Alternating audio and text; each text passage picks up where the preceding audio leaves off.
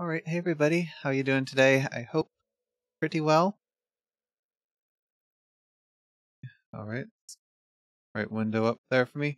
All right, well let's just go ahead and get started because I want to try to finish up this project today. So somebody had asked me to make a simple board game in Unity, so um, that's we're gonna try to finish it up. Um, basically, yesterday we did most of the groundwork for it, and now we've gotten to the point where the game will set up all the information about the board and create um, a piece for each player on each of the starting spaces. So blue is for player one, um, red is for player two, and then they want to move all the way to the green space. And then here on we can look at the entities that exist. And we have one for each space which basically just tell is there for um, the space positions. And then the, those are start spaces. Okay so that's all good. Although I notice that there's not any for um, any movement, which is a little surprising to me. So I need to check that out. Because I thought I did that yesterday, but maybe I messed something up. Um...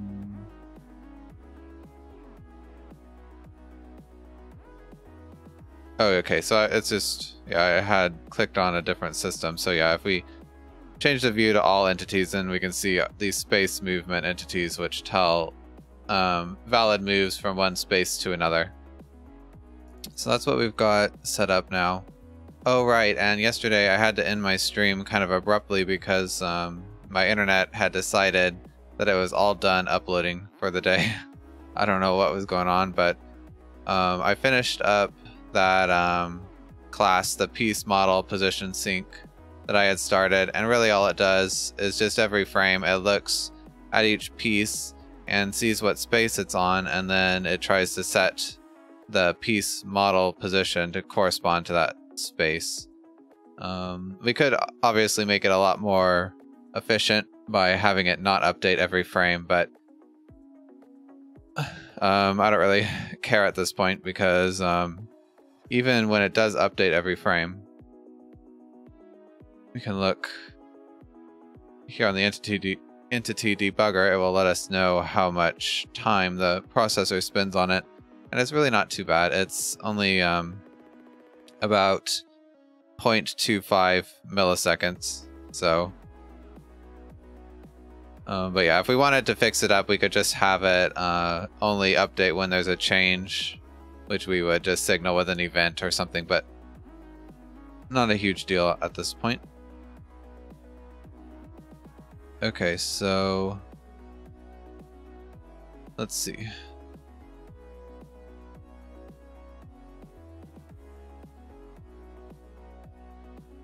Alright, so the start turn phase watcher is going to checks to see when the pieces are set up and then um, changes from the initialization phase to the turn phase.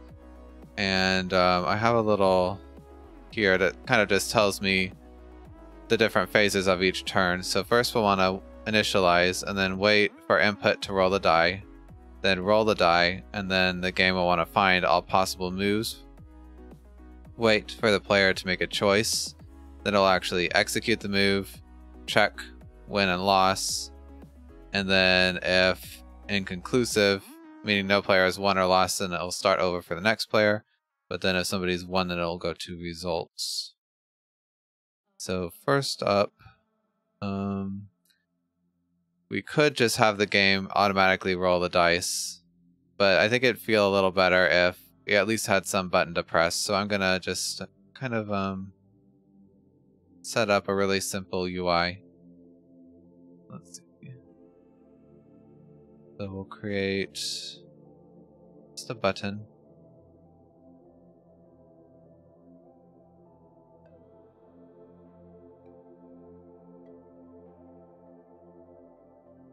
And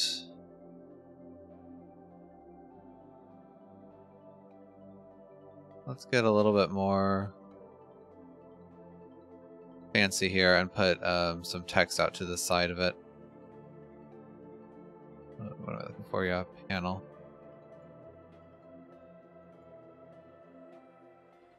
Okay, so I want this panel to have a horizontal layout group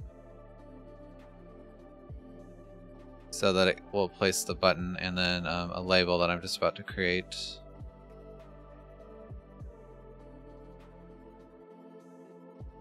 In order. Alright, so right now it takes up the whole screen, which we don't really want.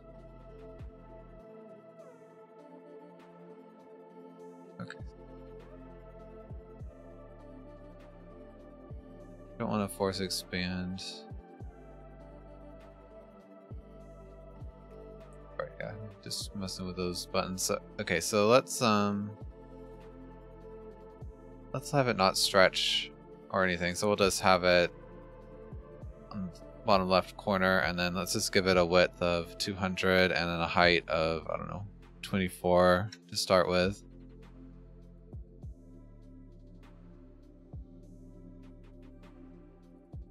And then, okay, so we can set a spacing here. Let's put 8 pixels between them.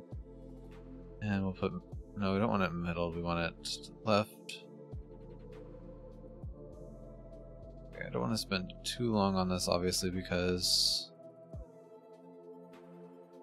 do need to focus on the rest of the game. Okay, and then so for the button, it needs to have also, I think, yeah, a horizontal layout group so that it will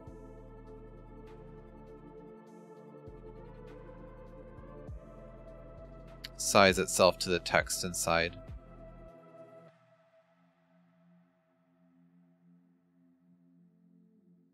And the text should have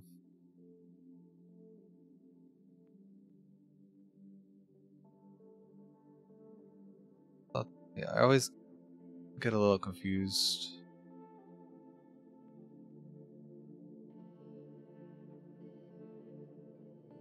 about how some of this works because I thought that the text would set its width and height automatically. Kind of you can switch to the layout properties down here on this bottom. Okay, so it says the preferred width and height here, so I guess it's not automatically picking that up.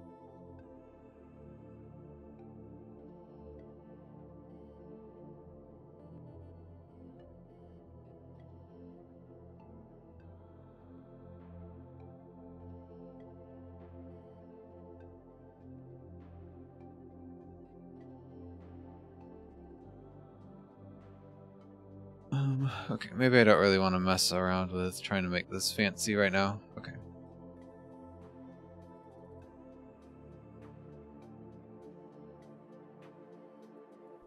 Let's just do it this the easy way. Um, so yeah, let's not even just use layout groups. I'll just kind of. Um, how come this worked then? Because I thought that I, if I put the horizontal layout group here, then it would automatically size it up. Let's see. Layout properties. Yeah, so it has a preferred width and height. I guess the panel isn't.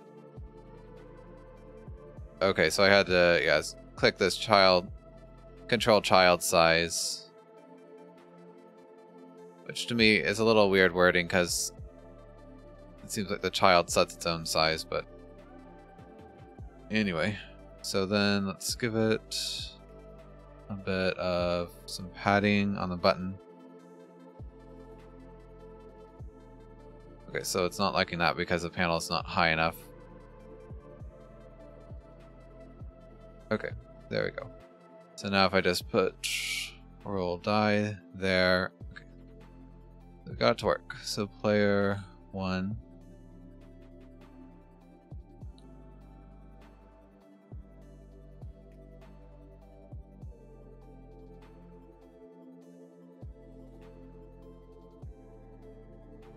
All right, So now we can look in game and see this over in the corner. So yeah, when we play, we'll actually we'll click this die when it's our turn to roll. I guess we should have another text that would have the actual like um, result.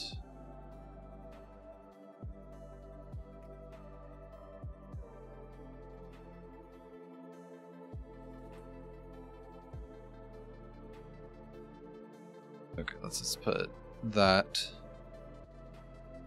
Alright, so there we go. Got that set up.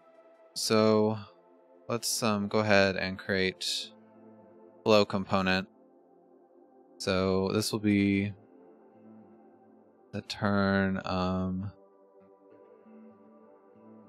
do we need to do any initialization? I don't really think so. We just need to wait for the player to roll the dice. So um, die roll input wait phase.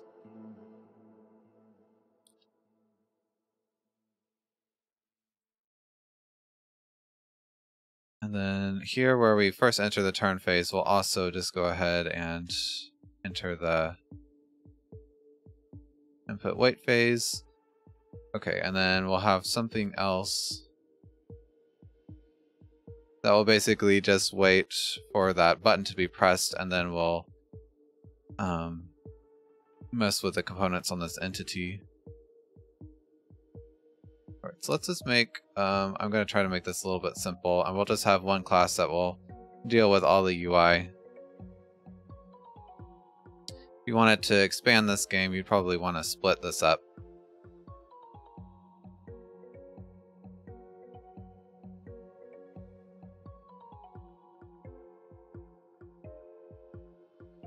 I need to try and make better templates.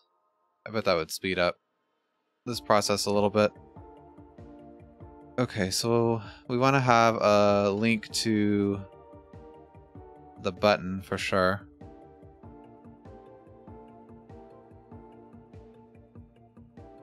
So this will be the die button.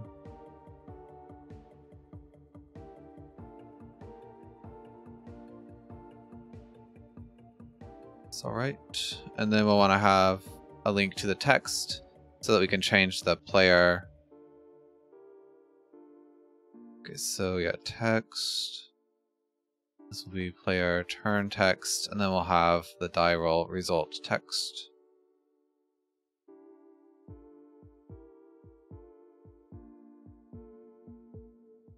Okay. Um, so now we just need to wait for certain events.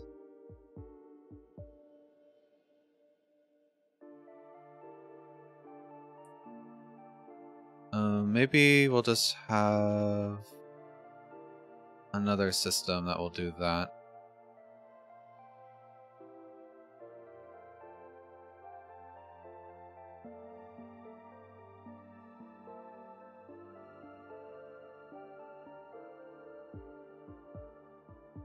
Alright, um, I was trying to think about how I want to handle this. Let's make this the um, die roll wait initialization system.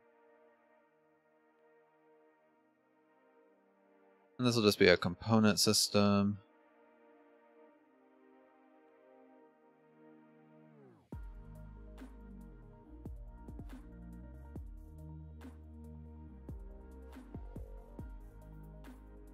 And okay, yeah, it's complaining because I need to implement the update function. So probably what I want to do, now that I'm thinking about it, is I want some class to update these text or this information right when the um,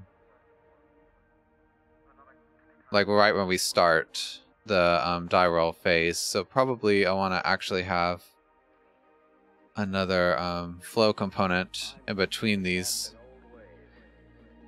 That'll just be the die roll initialization phase.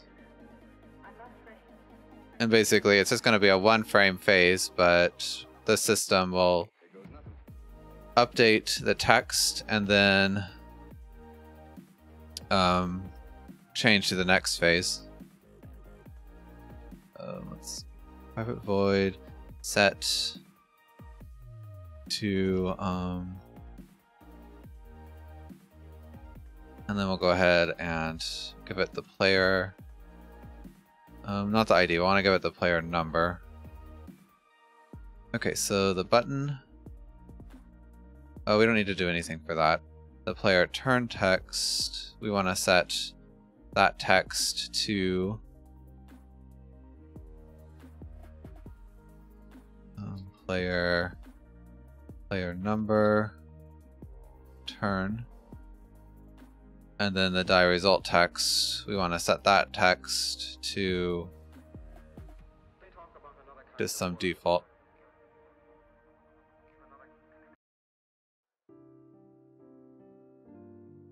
And, uh, okay, so this should be public because this initialization system will actually um, call this function. So on Yeah, we want to override the onCreate. And there we'll get a reference to the UI manager, which we can just use the game object find object of type, which just searches the scene for a UI manager. And this works because we only have one scene in the game, so we know it will be loaded by this point. And then we also want to require um, singleton for update, and then we need the um, die roll initialization phase component to exist somewhere on uh, entity. So when that happens, we can call. Oh, yeah, so what this means is that we require this component to exist somewhere in the system, and Unity will only call on update if that's true. So if that system exists, we know that we should initialize the dice roll or die rolling because there's only one. Um, the player number. Okay, so in order to get that, we need to figure out what player is active. Um, and I think to know that, that information should be on the turn phase. So, public int active player. Okay, so to get that, we need to get a reference to that class. And we know that there's only going to be one turn phase, so we can just use this helper function that Unity has created. Which is uh, get singleton. So this works because we know that there's only going to be one um, instance of this component in the system. So Unity has this helper function you can call so that you don't have to make your own query for it. That's pretty nice. Okay, and the player number is the ID plus one. Yeah.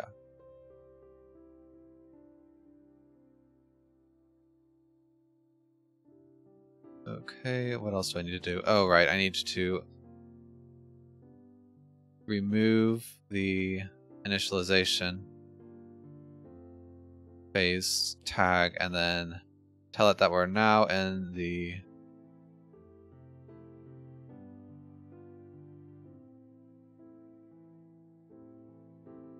um, yeah, we're now waiting for input from the player. Oh yeah, and so this is complaining because I need to tell it what entity to add and remove those components from, and that is this singleton entity that I set up to um, contain all these different flow components. Just so they'll all be on the same place. Um, and I think that's all I have to do here. Let's um, go ahead and set this up. This actually...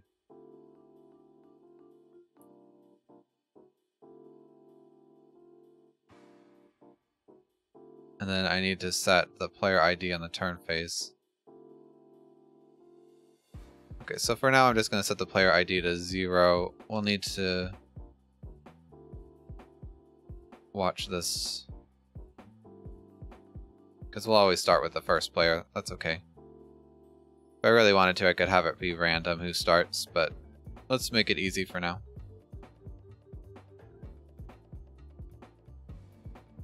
Okay.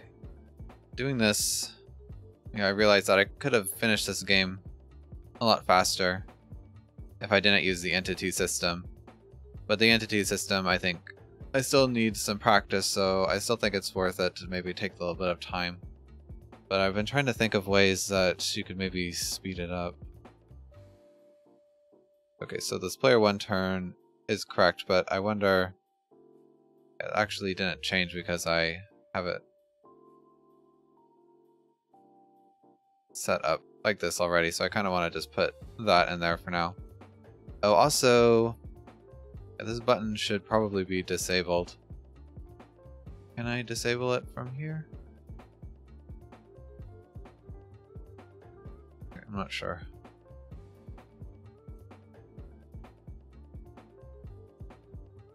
Also, oh yeah, I should have gotten, yeah, I just realized I should have got a null reference exception because nothing has the UI manager script on it yet. So let's go ahead and set that up. I really should rename these objects. Let's do that real quick. This will be the player turn text, and this is the die roll button. This be a little bit neater. Okay, so on the UI manager also, we might as well on start. Because when the game first starts, you can't roll the dice, so I'm going to set this to disabled. I'm not sure. Okay, I also want to actually want to set interactable to false. And then here I'll set that to true. Okay, and I guess let's just check this real quick.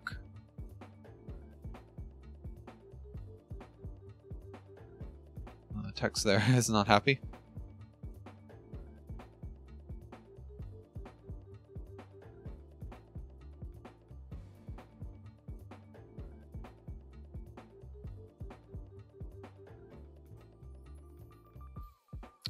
You can hear that, but sorry, there's this dog that's been barking all day. Okay, so it did update. Player one turn, and button. I can click on it. Okay, so next we want to... I guess we want to actually listen for the player to click that button and then roll the dice. Okay, so what we'll do is... I guess we will want to have another function, but really what we want to do is subscribe to the event.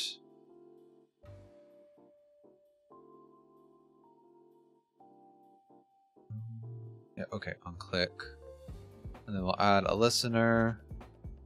Let's just say on die roll button click.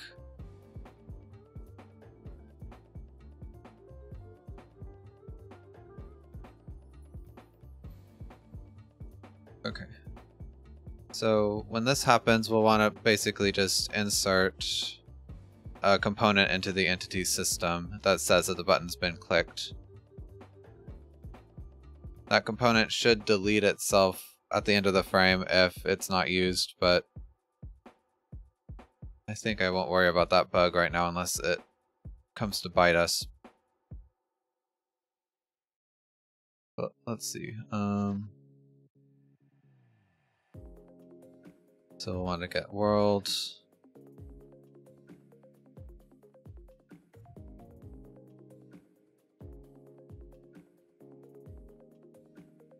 could just add it to the singleton entity.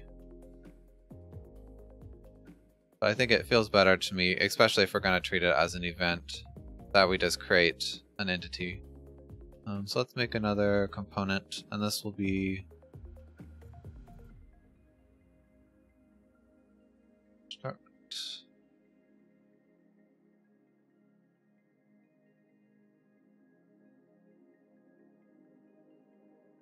let's actually call this um, a message. And what's going to happen is the UI manager will create an entity with that type. Um, oops, not create system. Oh yeah, I have to get entity manager and then create entity and I'll need to pass it an archetype.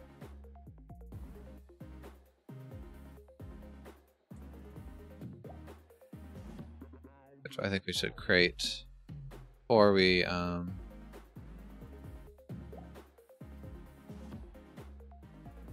get to this function on the start um, start function, we should create this archetype. So it's that's just world default entity manager create archetype, and the only type will be that message.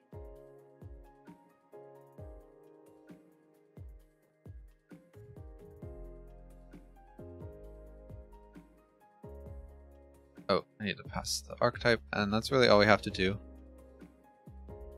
So now an entity will be created with this die roll message um, component attached. So now what we want to do is have a function or a system that waits for that message to exist. So this will be die roll message watcher.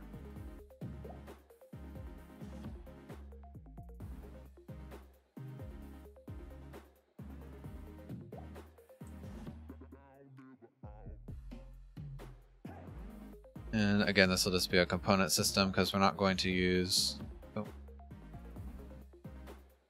we're not going to be using jobs for this.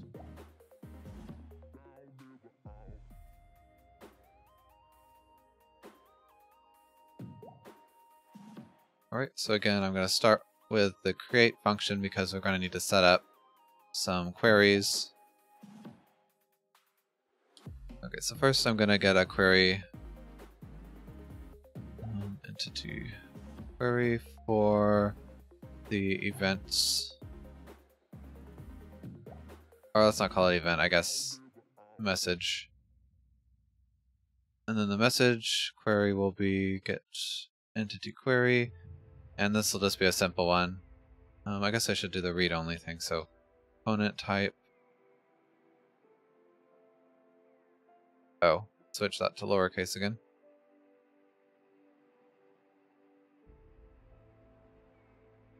Okay, that's really all we care about. And then we also want to make sure that we're in the right phase. So this is die roll wait phase. Oh, also, I need to tell this to update in group type of um, initialization system group. This just tells Unity when to update this group because it creates three different groups for systems the initialization, simulation, and presentation. And they kind of correspond to um, start, update, and um, late update for mono behaviors. Okay, so then again we need to require for update. So what this means is that this system will only update when an entity with this component exists and this query has more than one entity inside of it. So what we want to do here is first we just want to delete um, all the uh, messages because we don't really need them.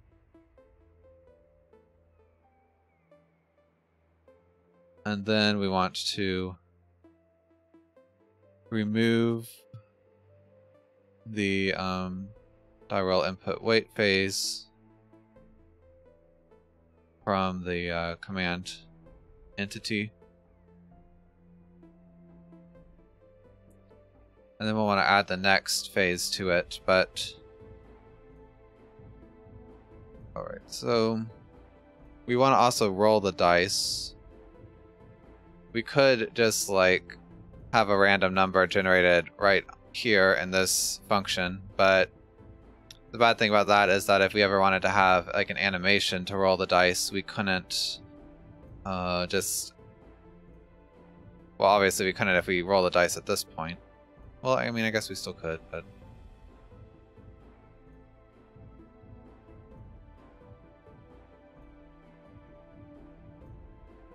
Yeah, I was just trying to think about how I want to do this. Um, well, we're going to want to have uh, some component to hold the dice the die roll.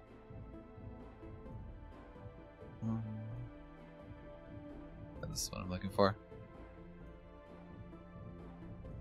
Let's close a bunch of these tabs.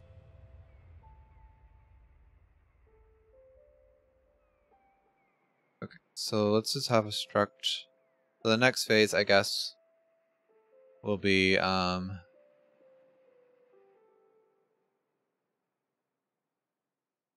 let me see. So yeah, we roll the dice and then we have to find possible moves and then wait for the player choice.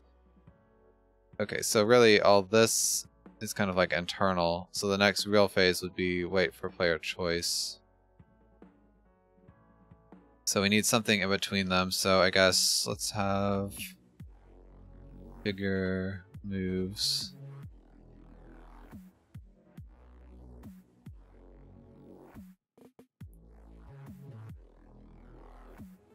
Okay, so we can do that.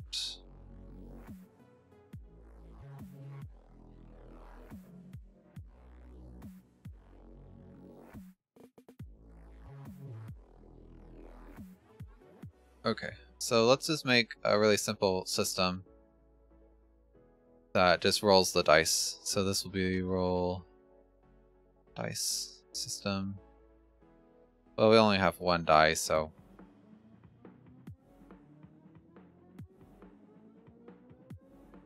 namespace game logic.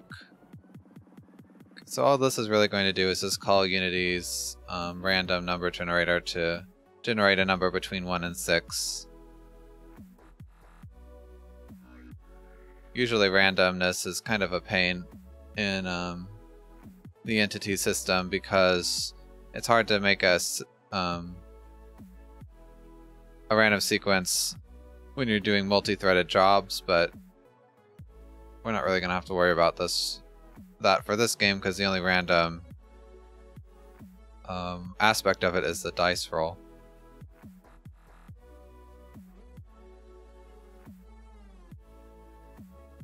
Okay, so what this is going to do is we want it to run when the figure moves phase is active, but only if the die hasn't been rolled yet. Okay, so let's...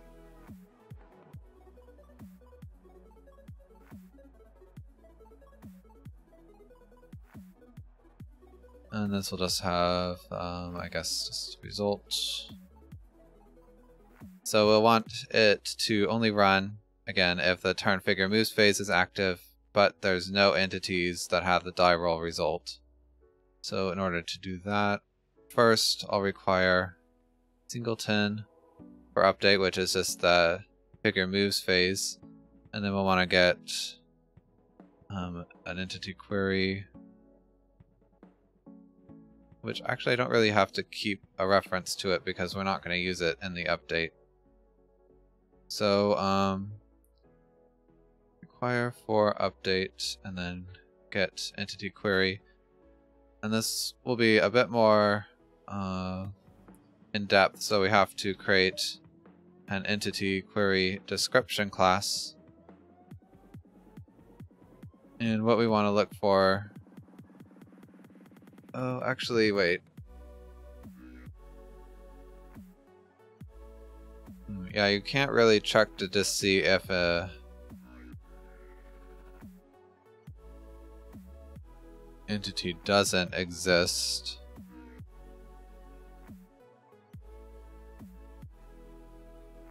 Yeah, you can't check to make sure that no entities exist by default.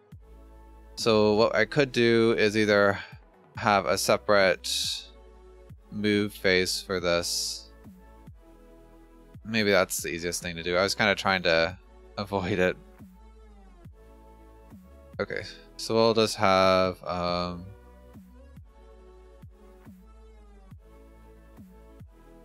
I guess just die roll result phase where we actually do the dice roll.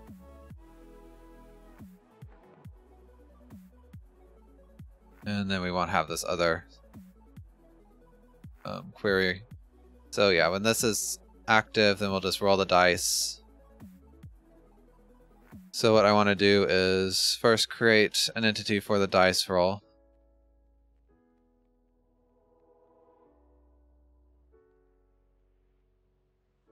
Um, create entity. Oh yeah, I need the archetype.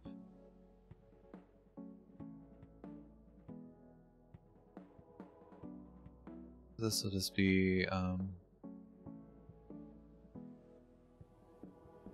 archetype.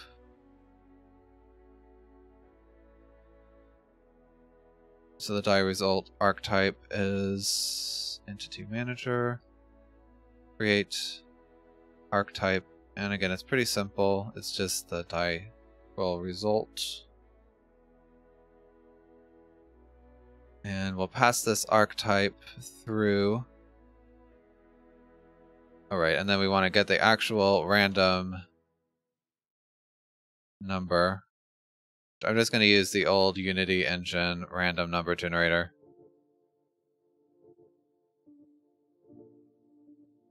So we'll tell it to give us a number between 1 and 6. I can't remember if that means it won't include 6. So return a random integer between the minimum inclusive and the max exclusive. Okay, so that means it returns something that's greater than or equal to 1 but less than 6. So we actually want something between 1 and 6, so we just need to add 1 to it. Um, and then in the post update commands, we'll tell it to set component. And so here it uses the function set component and not set component data. So it's not very consistent.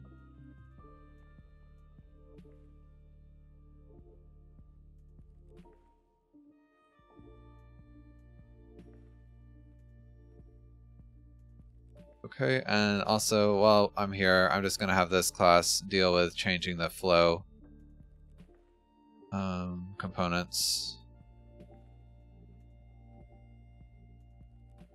And then it will change to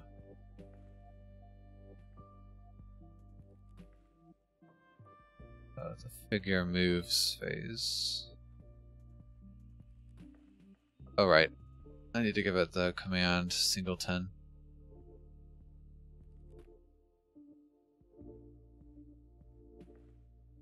Okay. And then this should update in group. Does it really matter? I guess just simulation since it does do something.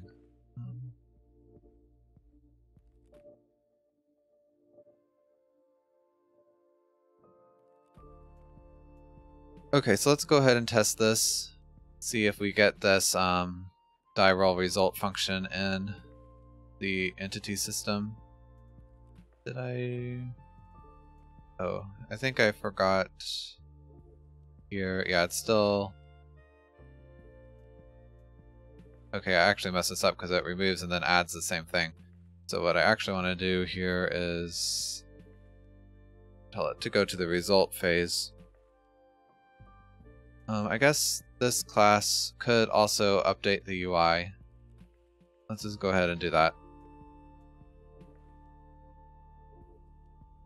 Set die result.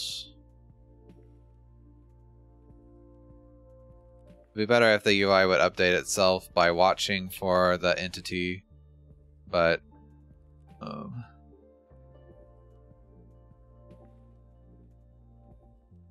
again, I don't have a ton of time here.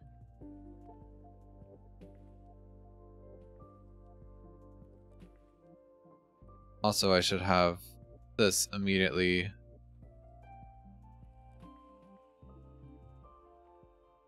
Um, exit die wait phase. So I want this to immediately disable the die roll button. And then this would be the result text.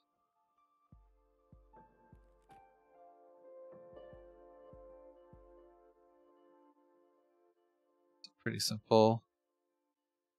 Okay, so here I want to tell the UI manager to immediately um, disable the button so the user couldn't click again.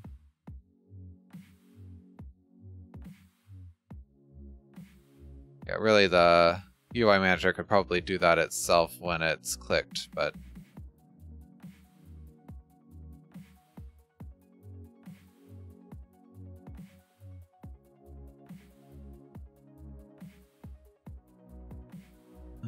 UI set Oh, that should have been exit, not in it.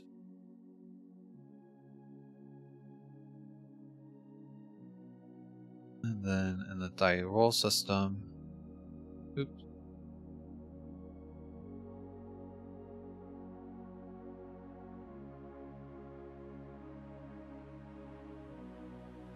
Then we'll just say UI. Oh, I guess we have to have the result already, so.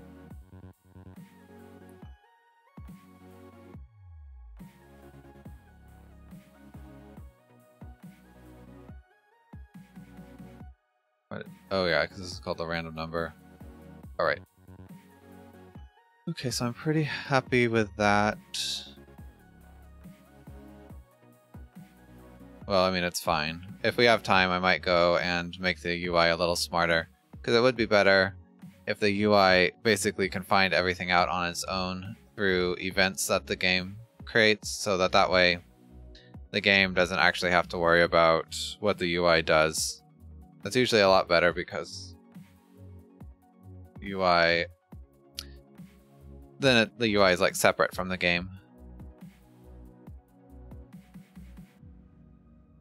Okay, so let's see if that works.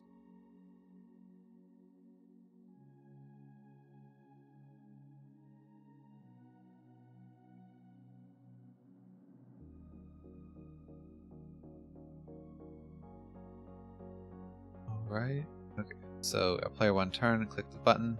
Okay, and it did roll a 2. I didn't get any errors, so let's look. Okay, and then there is an entity with the dice roll result of 2.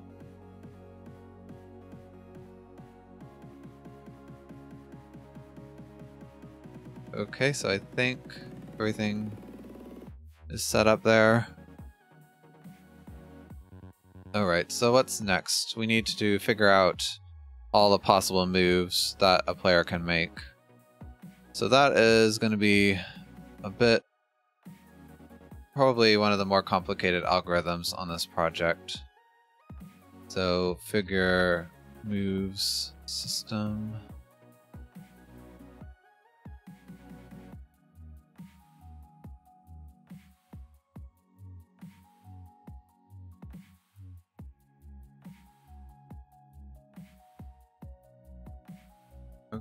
And again, I think. Do I want this to be a job? Um, yeah, let's do it as a job. That way, we can practice with jobs a little more. Oops, yeah, I don't want to rename it.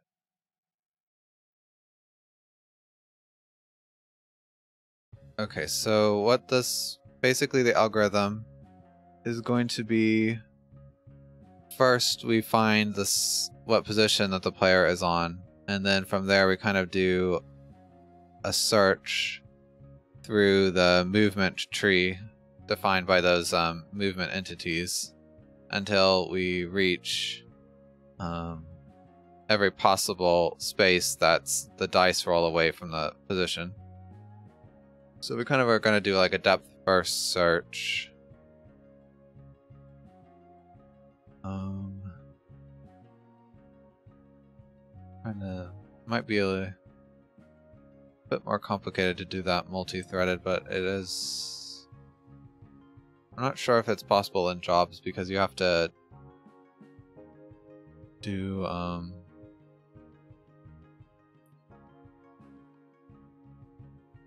like the queue system. So might, we might not do this multi-threaded, but that's alright. First, I'll have a job. That'll just be the depth first searcher. Oh, let's... I don't know, we don't really have to... be super specific there. And we'll just tag it as an IJob, which just means this job doesn't try to be multi-threaded or anything, it just runs once on its own thread. Uh, what will we pass to it? So we'll need the start position. Um, so this will be read only. I guess we really don't need to set read only and everything because again it's not really going to be multi-threaded, but Okay, uh, so start space. And then we'll want to have an array of all possible moves. What did I call this? It was like a space move. Yeah, so moves. And then we'll want to know the um the move length, which is the dice roll basically.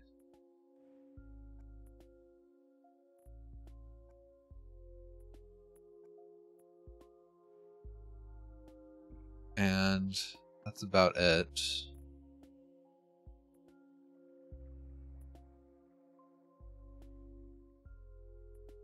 Alright, so let's see. Um, do I have anything else?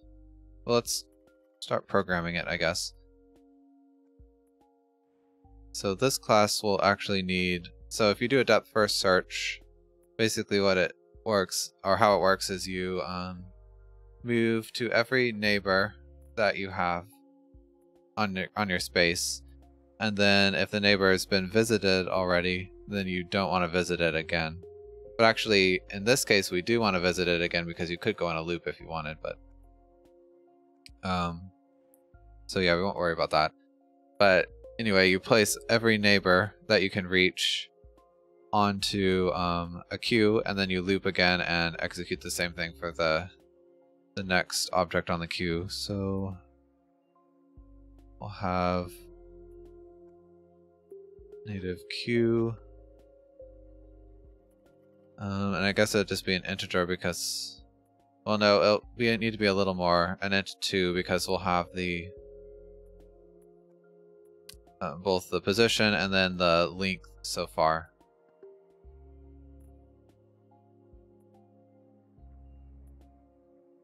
Oh, right, and so this should be new. And we have to pass it how we're going to allocate it, which will just be a temp And then I'm going to go ahead and remember to dispose of it when this function's over.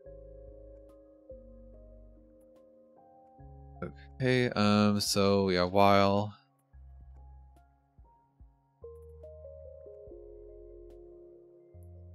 state, um, okay, how does this work? So, oh yeah, it's try dequeue.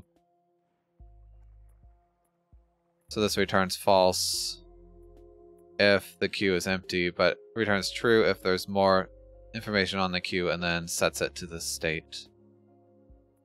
First, let's go ahead and add the initial state. So that'd be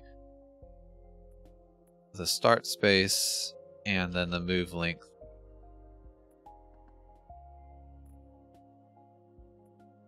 Okay, so... Okay, one other thing we need here is the max Oh, actually, okay. So the this move length will be the max. So we actually start with it being zero. So if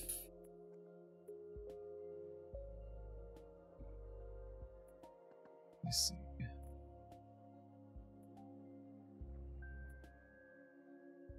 Let's do this. So space ID equals state x, and then at move length is y. So if the at move length is greater than or equal to the move length, um, just for my sanity, I think I'll rename this to um, the max move length. Then we want to stop here because this is one of the spaces that the player can move to.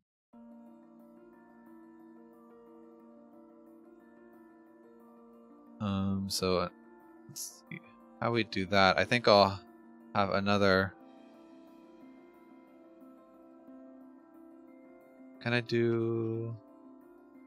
Yeah, I think I can just have a native list. So this will be final spaces.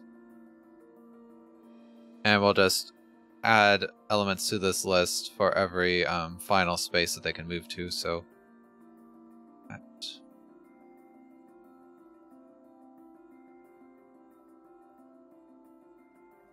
Um, no, that's not what we want to do. We want to add the space ID. Okay, so that's good. Otherwise, we'll want to search for every neighbor. And also, okay, so if this space has no neighbors, this will also be a final space. So we'll need to keep track of that too. So num neighbors found. Okay, so for int,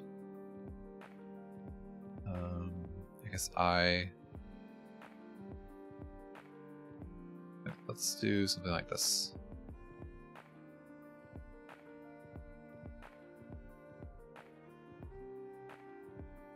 Less than the moves length. Oh, actually, a neighbor index is not the right term. Should be a move index. Okay, so if the move index from is equal to this space. Oh, so it's um, moves move index dot from equals the space ID. Then the next space is actually a neighbor. So we want to add that to the queue. So enqueue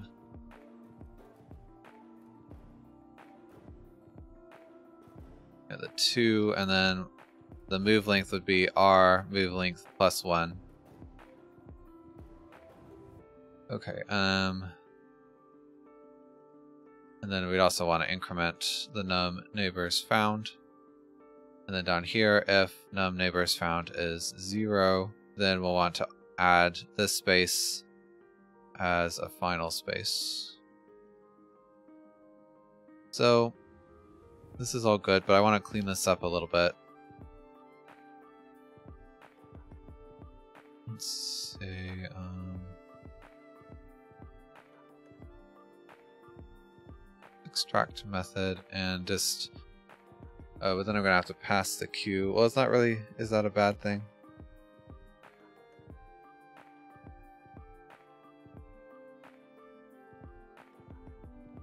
Okay, let's say find and enqueue neighbors. Does the queue have to be a reference? I don't think so.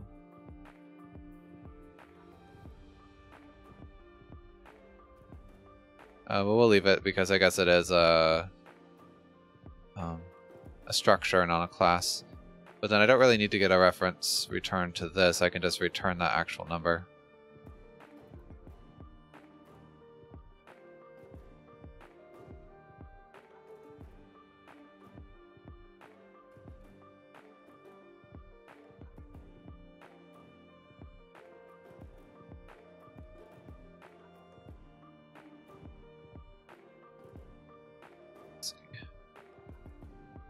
Um, neighbors found equals.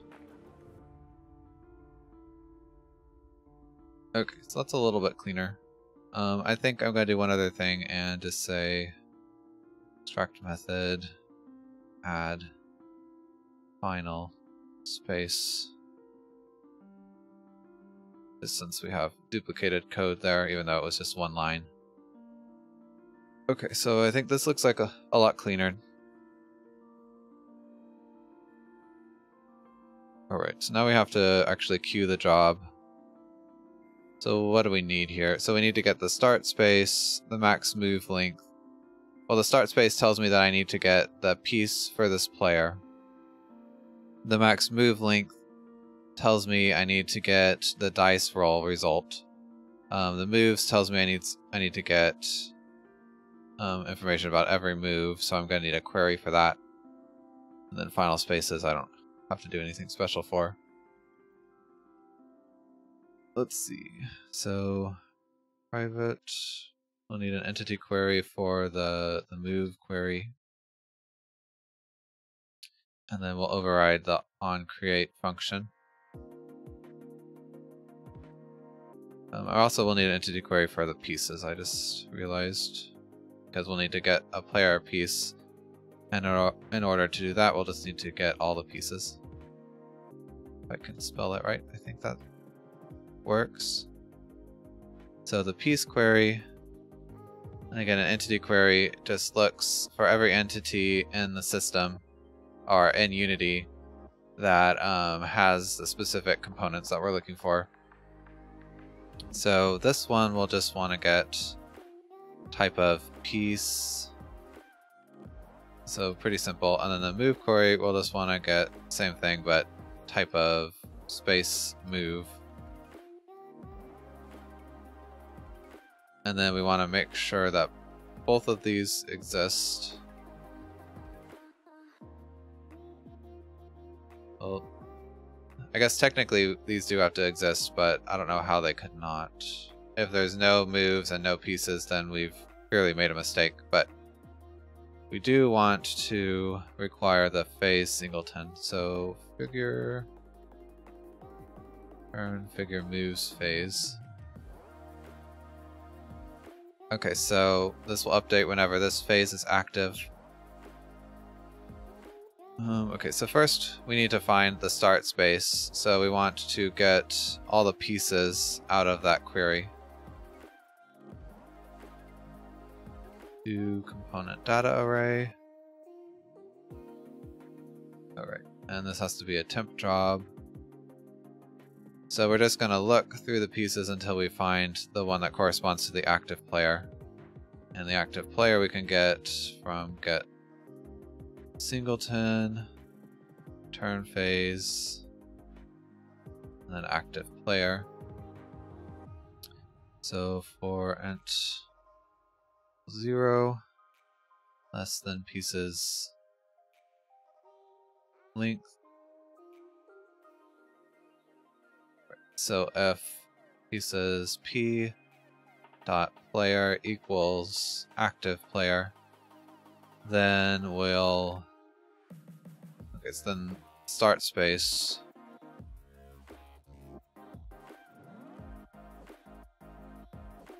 Let's just leave that. And start space equals pieces p space. And then we can break. So one thing that could happen here I can see is that there's no piece with this active player, but we would have messed up something at some point for that to happen. So again, since we don't have a lot of time, I don't want to worry about every single edge case.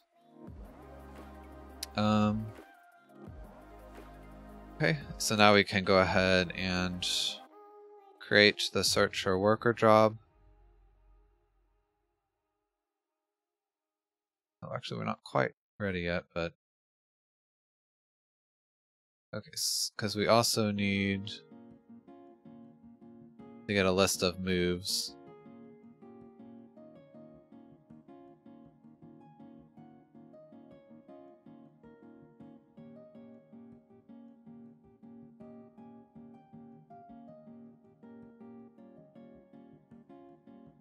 Job, and what I'm going to do here is um, I'm going to ask for it to give me a job handle, which means it will delay filling out this data until, well, it's basically we'll go and do it out on a different um, thread. Because we don't need this data in the update function, we're just going to need it in the searcher worker. So this will be move query dependencies. And then I also need to get the max move length, which is the the dice.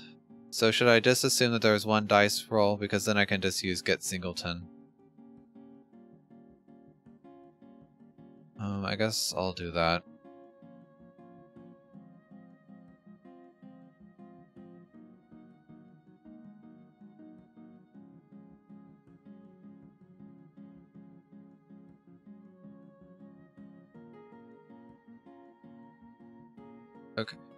Um, also, I always forget to do this, so I'm going to go ahead and dispose of um, the moves and pieces, so that way it won't complain to me later. Alright, so now we have that, and we have the max move length, and we have the moves, Oh, actually, yeah, we don't want to dispose moves here. We want to dispose of them when we're done with this job, so we'll do that in just a second. Um, okay, and then we need this native list for the final spaces, so I'm just going to create it here. New native list.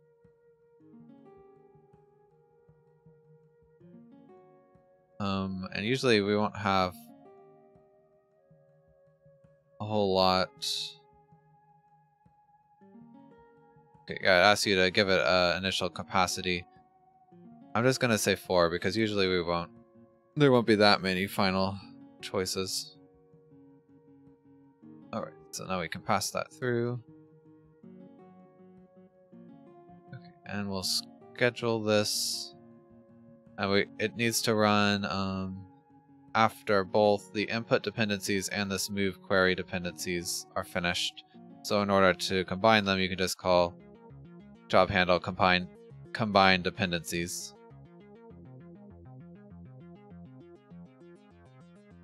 And that's done. Alright, so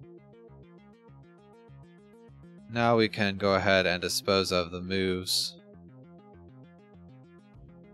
array once this job is done. And to do that, you can just call dispose and then pass it a uh, dependency. Um, yeah, so we actually want to pass it this, which is returned after this worker is scheduled. Alright, and so now we have a list of all the final spaces, but nothing else can use it right now because it's all stored in here. So I want to have another job that will take this list and then create entities about it. So let's call this entity creation worker. And then this can just be another IJob. And the reason that this is separate is because I can optimize this job to work a lot faster if it doesn't have to worry about creating entities, which I'll show you. Once we finish writing all this and testing it. So again, if I want to create entities in a job, I just need to get an entity command buffer. And this doesn't need to be concurrent because this job just runs um, in one thread. And then also need to pass it the list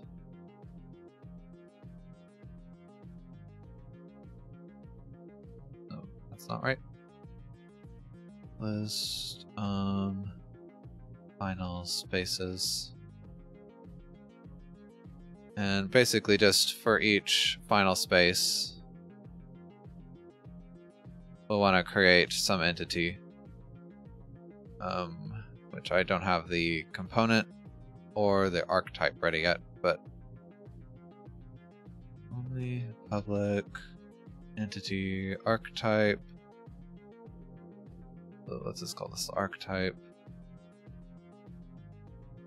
Alright, and let's go to components. So I guess this will just be struct uh, turn move choice.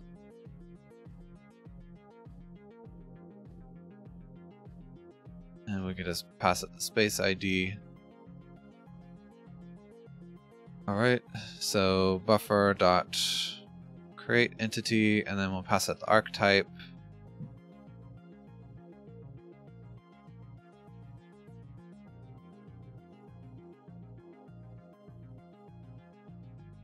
And then we need to set the data, so set component E, and then new, um, what was it? Turn, move, choice. And space ID equals final spaces I. Okay, and I think that's it for this worker. So up here we need to schedule that now, so dependencies equals new uh, creation worker and we'll pass it the final spaces list, and then uh, other stuff which we haven't set up yet.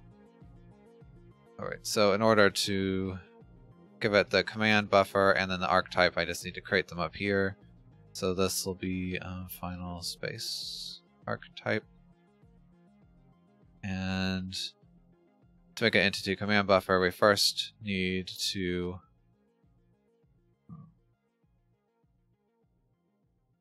get a reference to the system that we want to um, execute that buffer at a later time. Entity manager, create archetype, type of turns, move choice. Okay, and the I want this buffer to run. Let's have it run at the beginning of the next frame, so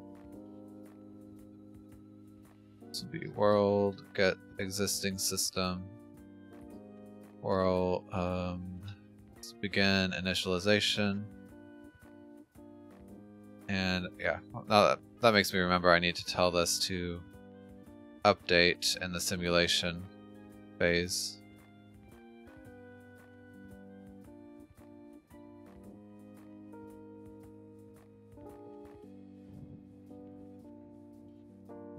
Okay, so now I have that all set up. So I can pass it the archetype. Not gonna give me the the variable name for me. And then the buffer is just the buffer system, and we tell it to create a command buffer. So one thing you have to do after that, well, let's schedule this first, I guess. Um, so this just needs to run after the other worker. Let's this up. We don't need pieces after that. Okay, so the buffer system, we have to tell it to wait to um, execute the commands in the buffer until this job is finished. So we just call that function and pass it the, the dependencies.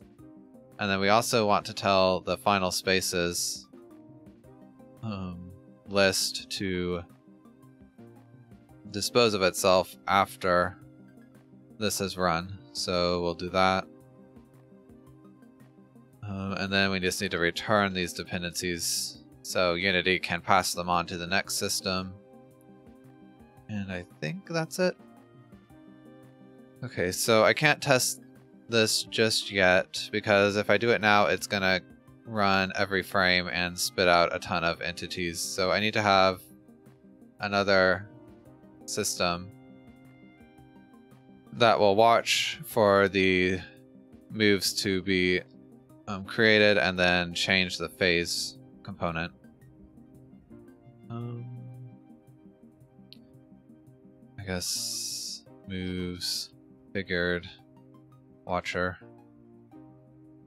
Um, and I'm gonna go ahead and just copy the other watcher class um, right here so I don't have to type quite so much because it's going to be about the same thing.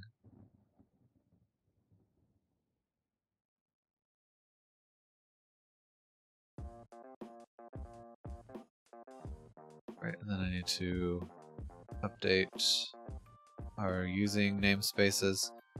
Okay, so all I have to do here is instead of querying for pieces, we'll query for um, turn moves. Um, do I even need this query? I don't think so. so I'll just simplify this.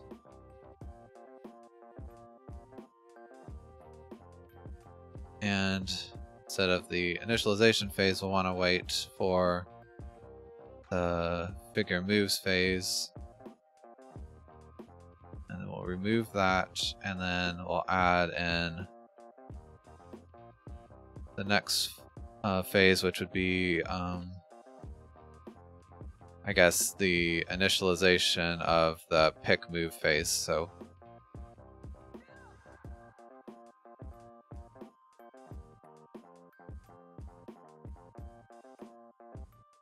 Um, or do I need to do that, or can I just move right to the pick move phase? Um, I guess I don't really know yet, so we'll figure that out in a second.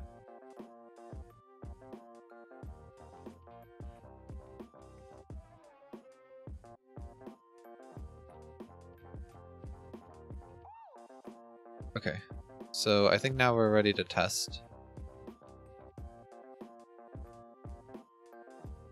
So it's done compiling. Okay, we're making pretty good time. Now we've got a... Um, so we figured out the move spaces, but of course they're not visualized yet. So I need to um, deal with that. And then I need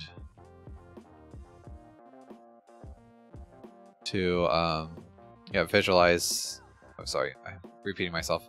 I need to visualize the um, possible moves by just creating something on the scene. And then I need to be able to pick which move I want to choose. And then we need to actually do the move. So, hope we'll be close to finishing if we don't finish today. Okay, so now I just need to roll the dice. Okay, we got an error. The native container has been declared read-only and you're writing to it. Oh, I think I realized that while I was programming, but I forgot to change it. So yeah, so this final spaces list doesn't need to be tagged read-only because we're actually writing to it, which was um, a silly mistake on my end. Um, these, that can be read-only. I think that was the only problem.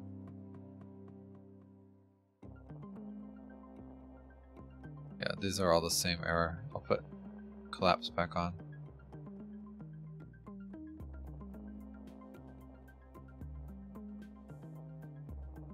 Okay, these are slightly different, but they both are pointing to line 91, so... let's try that again.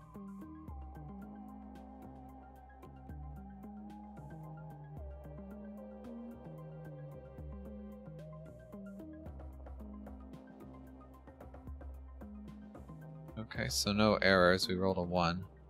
Let's look and see. Okay, so we have one move point, sorry, move choice, which is space 5, um, which hopefully would be this space right here since we only moved a 1. But let's look and see.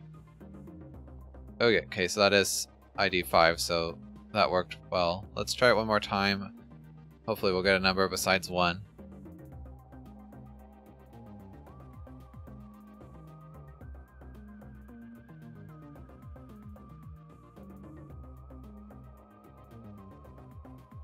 We got one again, of course.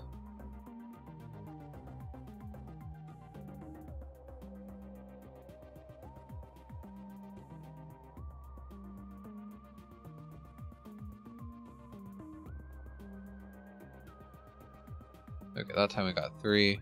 Oh, that's good because I think we'll be able to get to the branching path.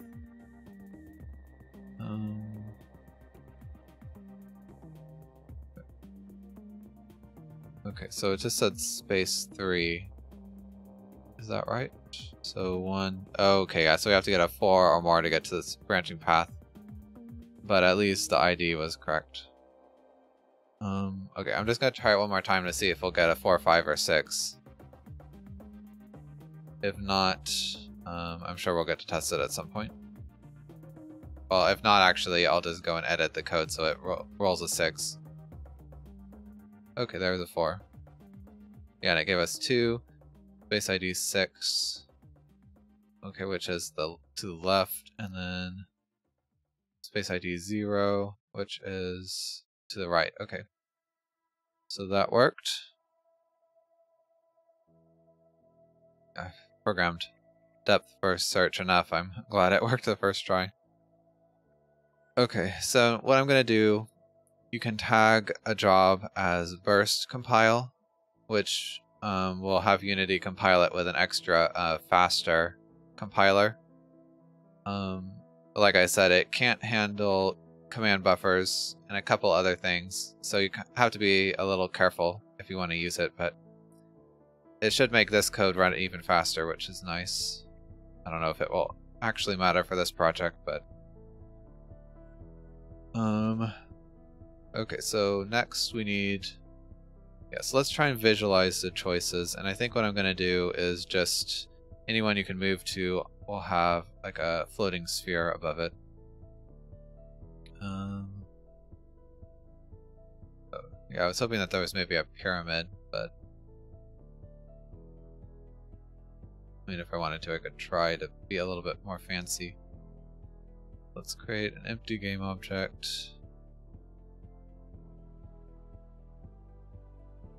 And parent, parent the sphere to it. That's 0, 0, 0. And course I'm going to make this sphere smaller.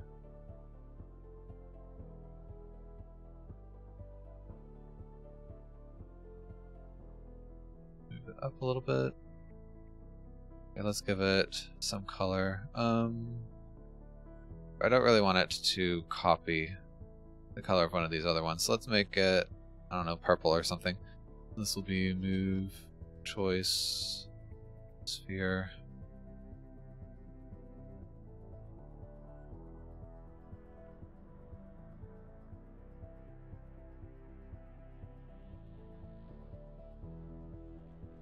Alright, so now it's purple.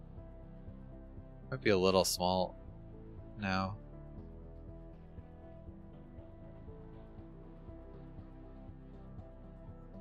Okay, and then what we're gonna want to do is have like a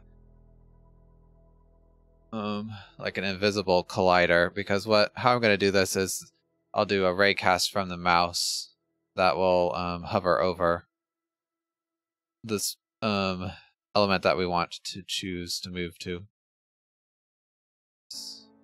will be uh, move choice. And yeah, this is going to need to be a prefab, so we'll just go ahead and create it. Everything has spaces instead of camel case, so. Um.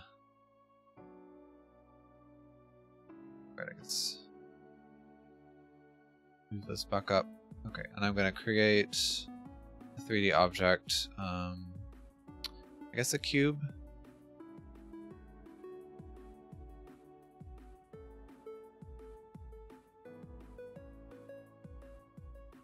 And I'm gonna remove the... Oh, oh no, it does have a box collider, okay.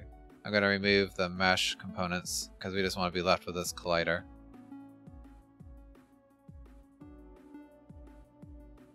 Okay. Um, I mean, it doesn't really need to have the part underneath, but it doesn't actually matter, I don't think. So we'll leave it like this, and if it is an issue, then we can try and change it. Let's go ahead and move it up a little bit and then maybe shrink the, the height. I think that will be a little better. Right, and then I want to apply the changes to the prefab.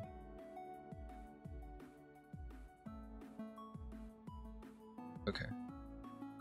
So now I'm going to want to have some class that I can uh, keep track of all these choice objects. Let's go ahead and create an empty thing. So this will be move choices. And kind of like I did for pieces, I'm going to just have a, a, choice registry that will have different, um, I guess, a list of all the alive choices. So move, choice, visualizer, registry. Uh, I guess it should just be, not the visualizer, it should just be the visual registry or something.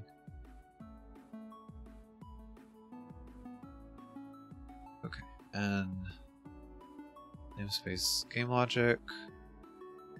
This will be a mono behavior. I don't think I'll need to have a start. Okay, so I'm gonna have a list of alive um, visualizers. I guess I I'll call them visible. Well, they would be visible visuals. I don't really want that, so let's call it active visuals. And then, uh, well, no, let's just make it even more simple. I was gonna say I'll have like a cache of visuals that aren't currently active, but let's just create and destroy the game objects as needed. It's gonna be fine. Right, and then on awake. Let's create this list. That shouldn't be private, it should be public. And then I want to have uh, a reference to the prefab.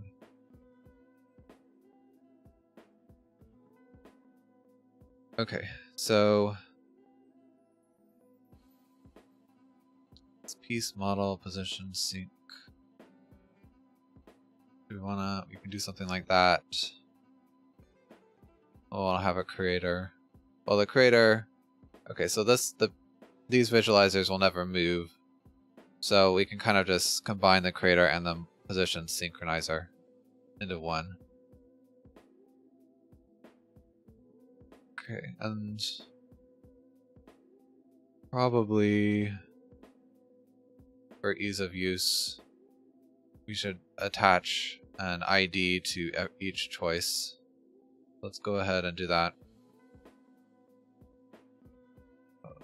Space I well, I mean, I guess technically well, I don't know. We might have more than one choice on the same space if it's a more complicated game. So let's just go ahead and just add an ID. It'll be cleaner this way, I think. Starting to get lots of objects active.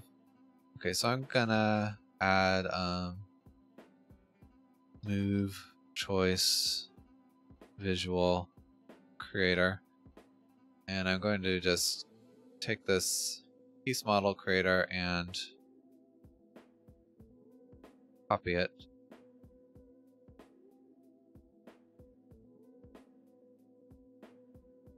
Okay, and so the game piece registry will want the move uh, choice visual registry. And instead of a piece query, we'll want uh, the choice query, which will use to get all um, move choices.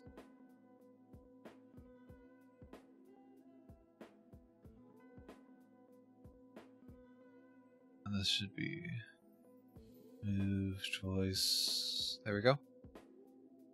Oh, I didn't rename this, so um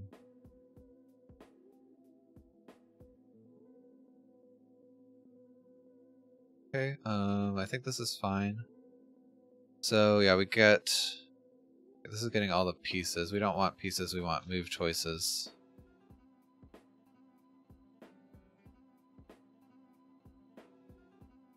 We actually will want the translations, but let's worry about that later. So the prefab is really doesn't change, so it's just the prefab. Oh, it's set to private. Um, don't really want.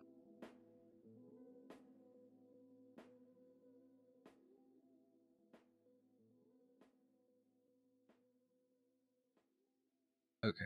Yeah, and then this is yeah, I complained that we didn't really have to do this, but...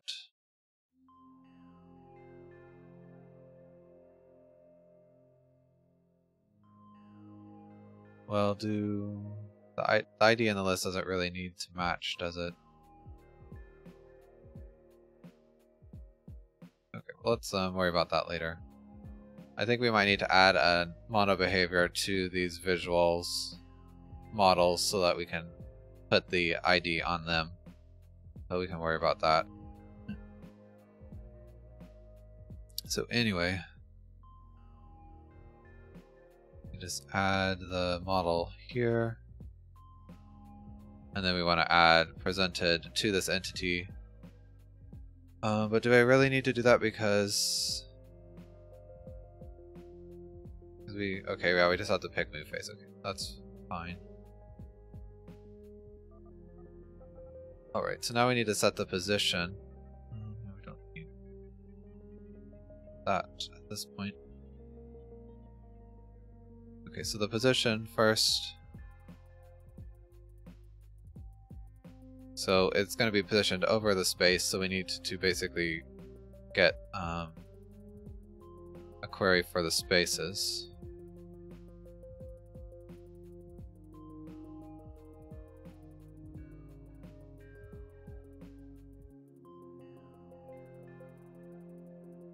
Which I'll just copy some code over so I don't have to write it again.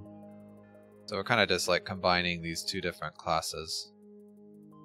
So then we'll get a reference to the space and their positions. Let's rename this to uh, choice entities. Okay, I won't need that. Okay, and then I want to go ahead and dispose of the spaces and their translations.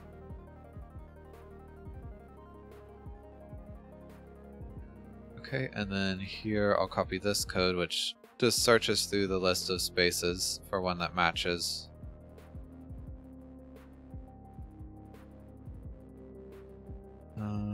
Uh, I'm gonna put this as a different function. I'll have to like copy the stuff over. Well, that's probably okay. So we don't need to search like that. I guess there's only one for loop, so it's not too confusing. So if this equals choices, i space id, then this model transform will equal the position for that space. Space position. Okay, so that should work. Let's go ahead and test it.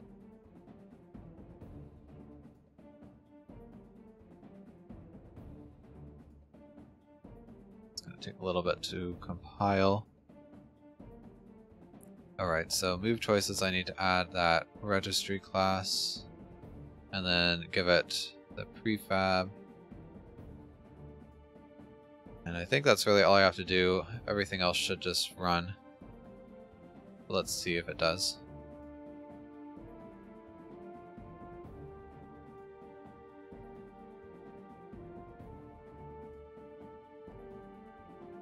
Right, so we'll roll. Okay, yeah, we rolled a 1, and then it did put a choice over this space, so Cool, that worked. Let's try it one more time. I don't I keep rolling ones it seems like.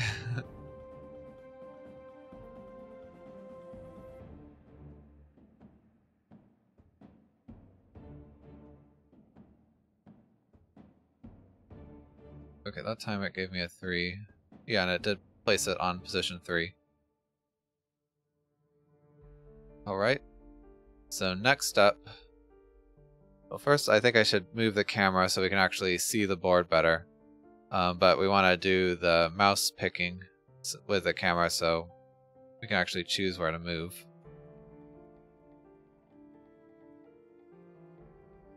Probably I want to do some kind of feedback, but that's I guess if we have more time. Let's see. Um, let's start with the camera.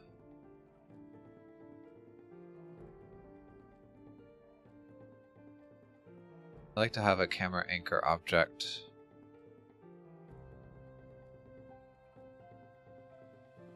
Put it at the center and then parent the camera to that and so that's good. Um, and then we, then you could just rotate the anchor around. Let's drag the game out. No, I don't want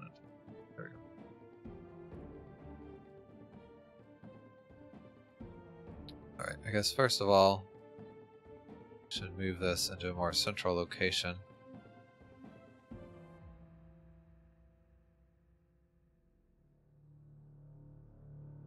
I want to rotate that way.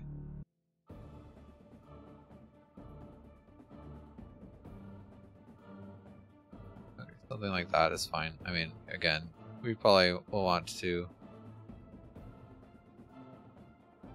The game needs a lot of polish.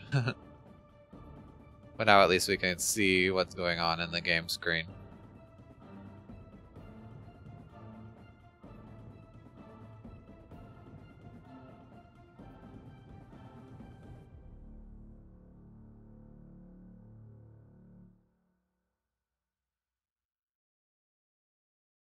All right.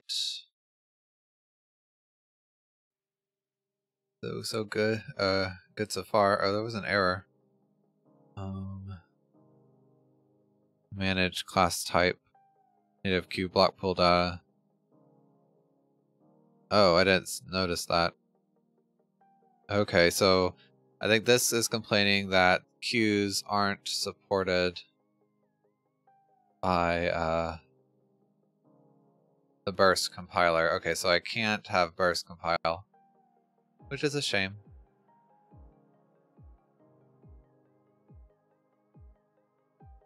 Um, that's okay. I mean, it's not a huge deal.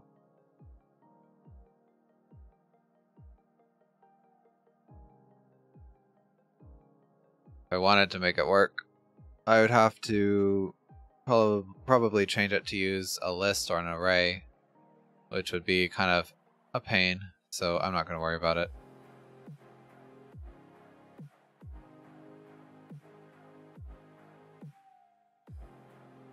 Anyway, um, alright. So we move the camera. Let's do the part that will cast rays from the camera. So mouse, ray caster.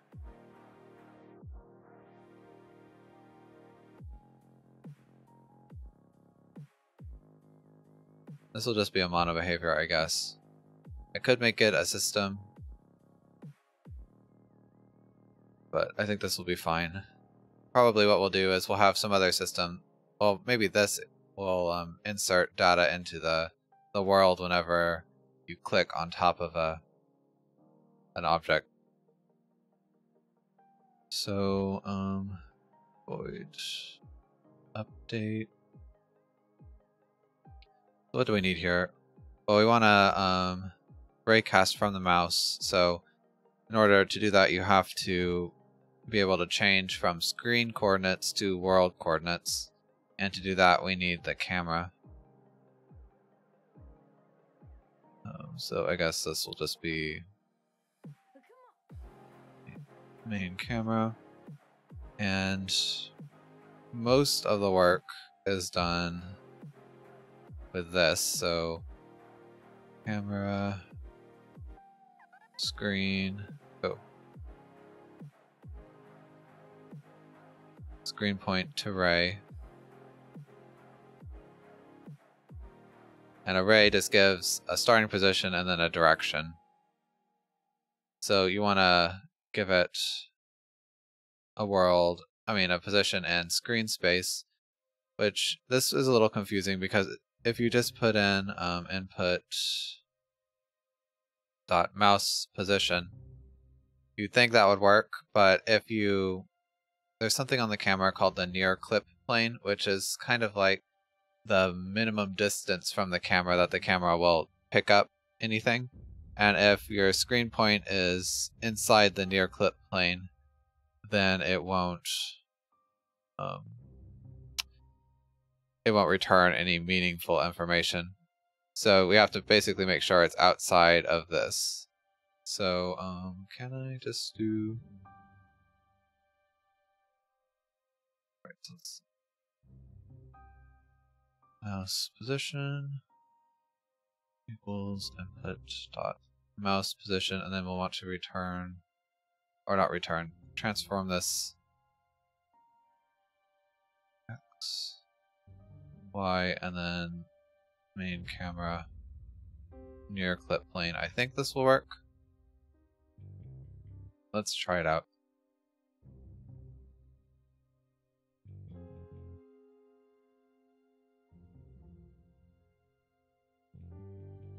Um, I could do even better. Let's. I think there's a draw ray. Yeah. I should rename this variable though. This is the world ray. Um,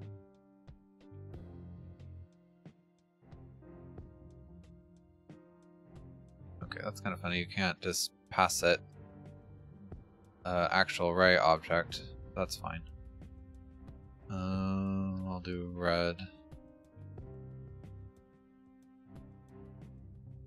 Right, and I'll just add this to the camera anchor.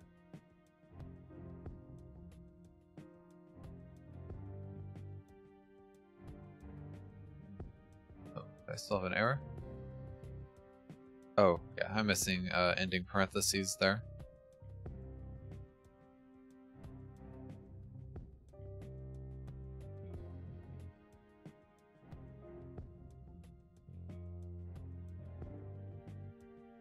Letting it recompile.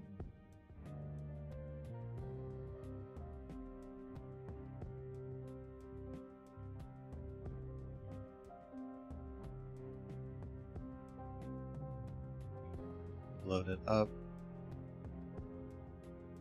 Okay, so we can't see the test right here because it only shows in the scene view.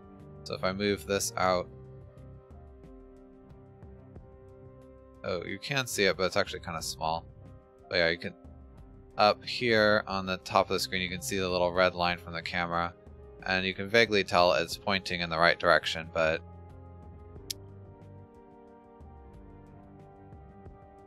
It would have been a little better if... Is it have... Can I pass it a length or something? Color, duration, depth, test. So yeah, let's just use the good old draw line. Um, I need to give this an end point, so I can do that just by world ray dot origin plus the direction, and let's just make it 10 meter or 10 units.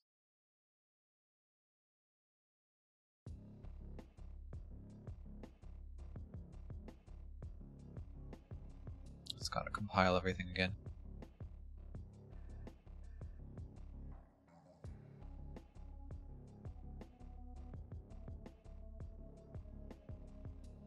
Where my I accidentally I think I uh oh there it is.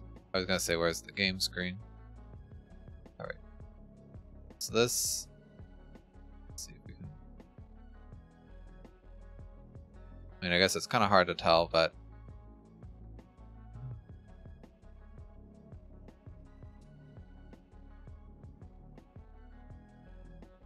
pointing at the green, but still not long enough. There you can see when I mouse over it, now it's in the middle of that space. So it looks like it is working.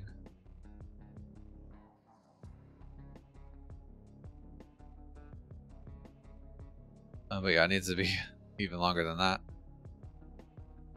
Okay, so now what we'll want to do is, well, I guess we really only have to um, raycast when the mouse is pressed because we only really need to see what what happens when um oh I'm trying to say? Like we only need to see if we're over something when the user clicks.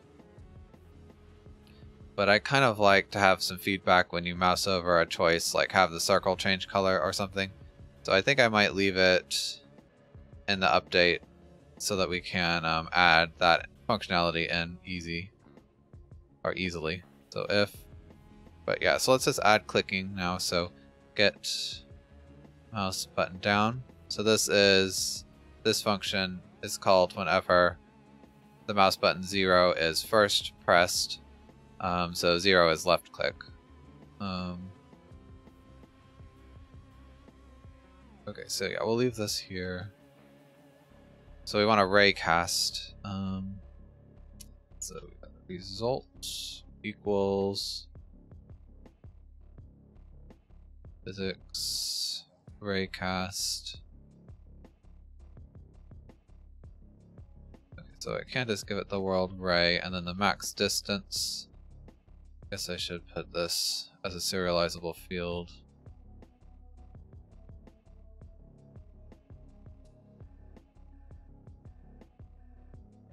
Then private layer mask.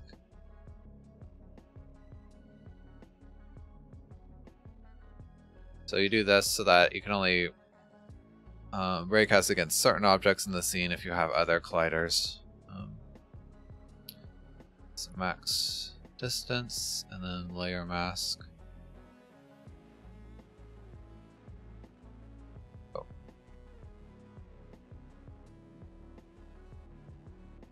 Okay, so what I'm also going to do here is if result dot... Oh, is that just a boolean? Hmm, I want more information than that. Um,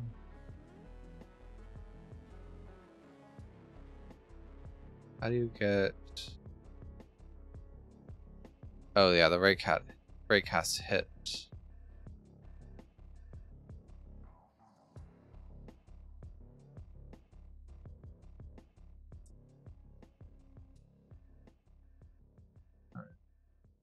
That's a little strange, but it works. Okay, so yeah, if this is true, that means we hit something. So, um, set the debug color.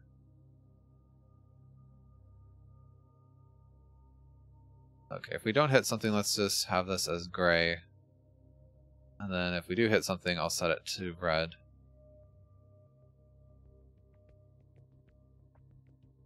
That'll just help us debug raycasting a little bit. Alright, so if we click and we've hit something,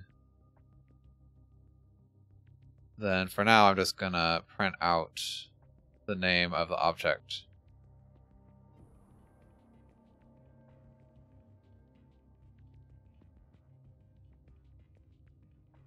Um, which actually, the collider is a child.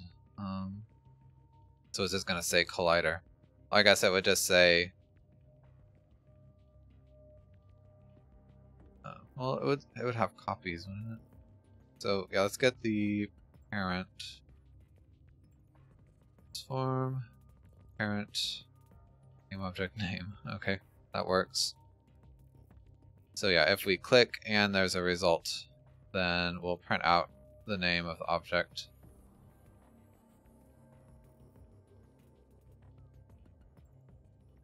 Oh yeah, so we need to do a little bit more with the um, layer masks before I actually test it. So you go to, is it physics? Oh, tags and layers. So we just need to name one of the layers. Uh, this will just be um, move choice.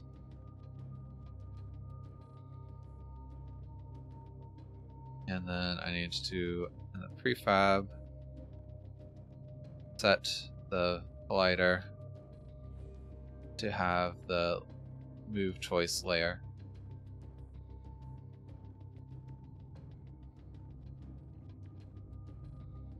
Alright. Oh, it's still not done yet.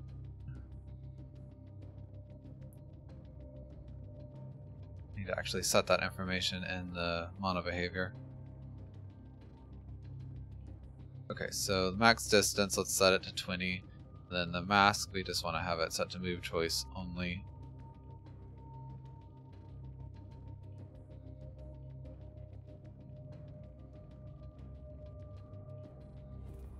Okay, well, getting low on time again. Well, let's see. I don't want to skip by something important just to make time. So, anyway, so let's check raycasting. Yeah, it should stay gray all the time because we're it's not going to hit any colliders. But yeah, it seems to match up. And then if I roll the dice, and then mouse over that, okay, it does change to red. Thankfully, so that means it's hitting that object. And then click on it, yes, and then it says move choice clone. But at least we are. Um, it is working. Alright, so now what we actually want to do instead of just doing that, we'll want to add in a component, basically the um, information, or it'll have the choice ID. So in order to do that, I need to store the choice ID on the mono behavior. So this will be move choice ID tag.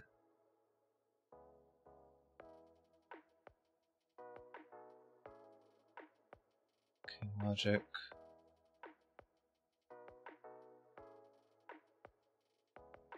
Alright, and this will just be a public int ID, and that's all for that. Um, and then I need to set that tag in the model creator. Oh, also, another thing I forgot to do here, but I'll do it in just a second. Um, so model get component model ID tag. Oh wait, it's move choice ID tag. So we're gonna get the old mono behavior component and just set the ID to. Uh... Oh wait, this is the wrong thing. This is the the piece creator and not the move choice creator.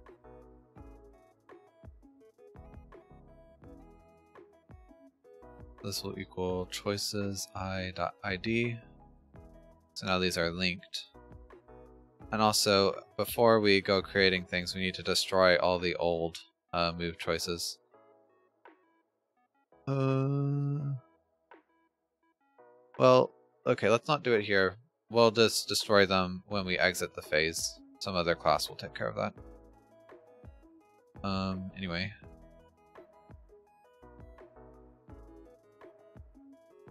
Um, oh yeah, um, this prefab, I need to add that tag component to it. Um, let's just have it default to negative one.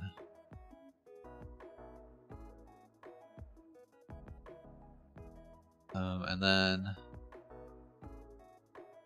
the raycaster needs to insert a component with that ID. So I'll need to create that component up here. This will be struct, turn, move, player, input. I guess that's fine. Public and chosen. chosen choice, that sounds bad. Let's it chosen move choice is fine. Alright, so now we've got to get the entity manager, so I'm going to need it a couple times. World. I want to get the entity world. I probably don't use that namespace yet, but default entity manager. So uh, message entity equals entity manager dot create entity and I do need to pass the archetype. Private entity archetype message archetype.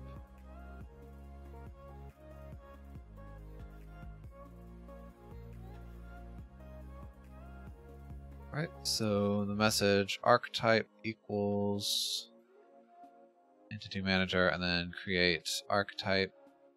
And this is just going to have that one function. So what was it? Player input. There we go. And so then I need the entity manager to also set that data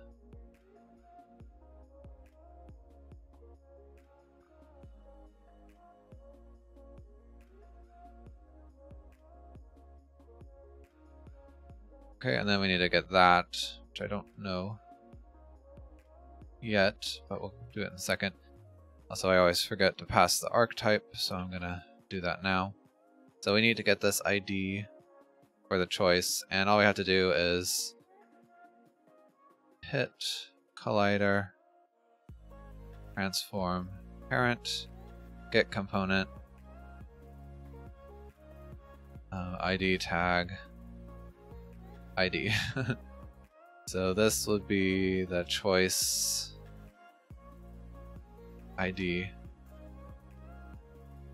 And again, this is kind of a lot of assumptions about the um that's word like the architecture of how this game object works. It might be a little better to do something like get component and parent. I forget that that exists. So that way we don't know exactly what parent this monobehavior exists in.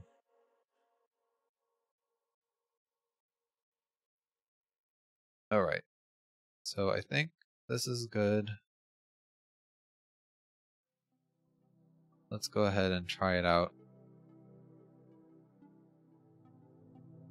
Okay, and then after this, I mean, pretty much we've finished all the interesting parts. After this, we just need to move the player to the space, clean up all the data, and then start the next turn. So I don't think I'm going to get that done in five minutes, so I might just do it off stream and then show it at the beginning of next stream. Gosh, I keep rolling a one. That almost seems like a bug. But anyway, so we'll click, and now let's check the entity debugger to see if that entity exists. Okay, yeah, so the move player input and it says chosen move choice of zero, which we can see. Um,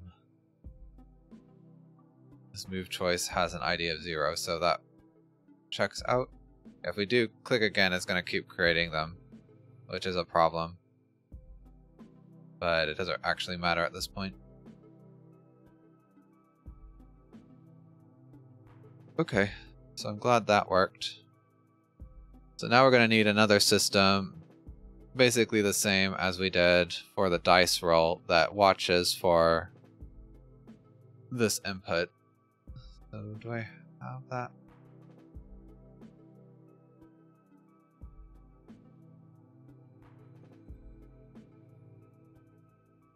This will be move, choice, uh, message.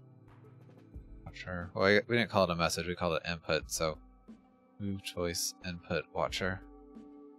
And I'm gonna just copy the dice roll one.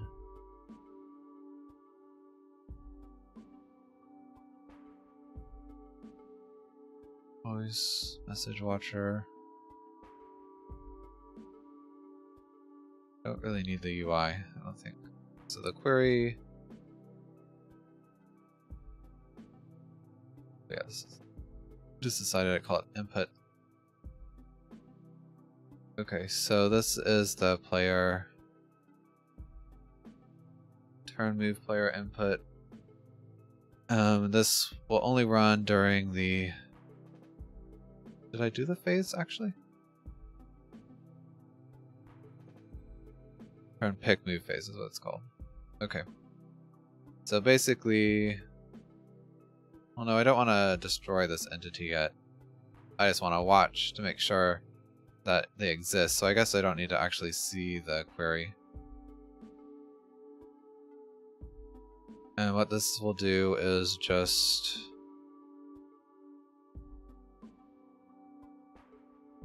Pick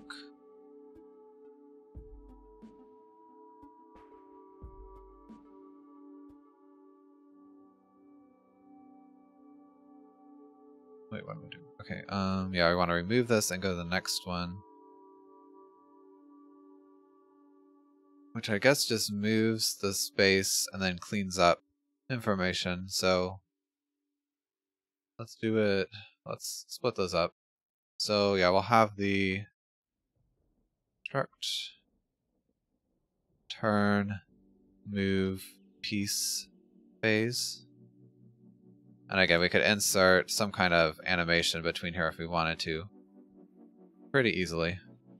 And then turn clean up phase. Which will just clean up all the data from this turn and then hand off to the next player.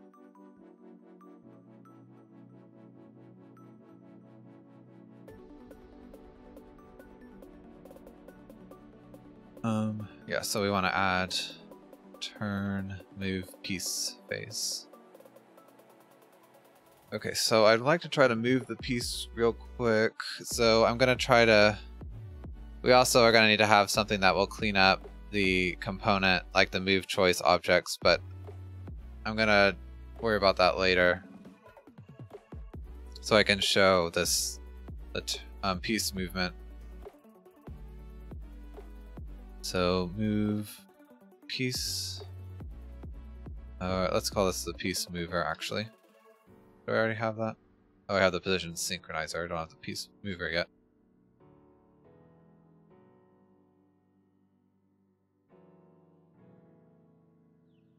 I think after this, we've done for sure the lion's share of the game. And all I have to do is just delete unneeded um,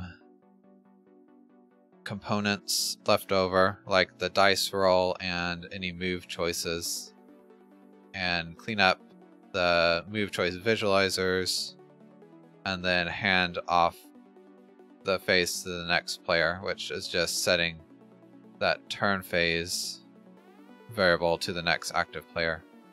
So we probably won't do that on stream, but I'll take a few minutes and finish it up off stream and then just show it off. Um, but yeah, I think we can at least do this part. So we move, all we have to do is find the piece for the specific player and then set its space to the um, chosen move. So I need quite a bit of entities here. Entity query. We'll need a piece query to get all the pieces, and then I'll need an entity query for um, move choices. And then I'll need one more for the um, player input query. Let's just grab all the data we need right here.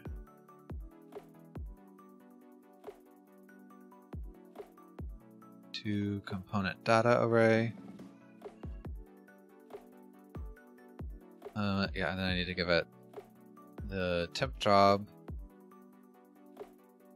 Um, and then choices. To component data array.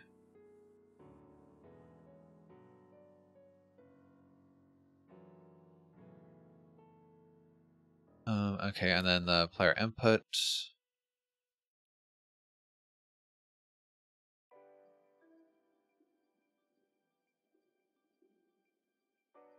And again, this just pulls out um, all the components of the specific type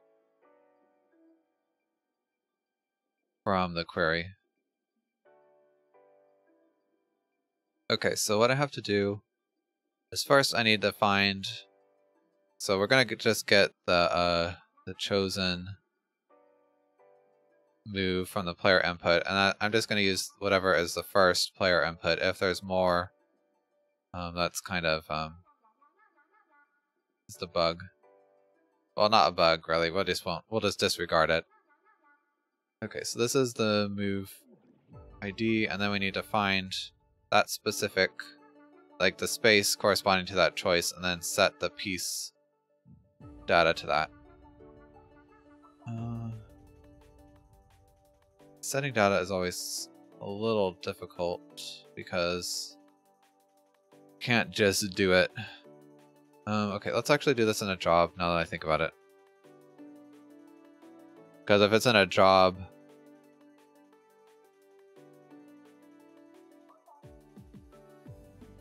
yeah. Because if it's in a job, you have better access to the information you want to change.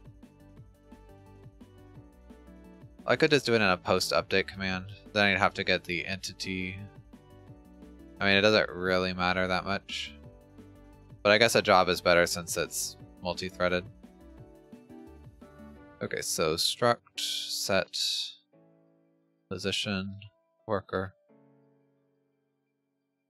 And this will be an IJob for each.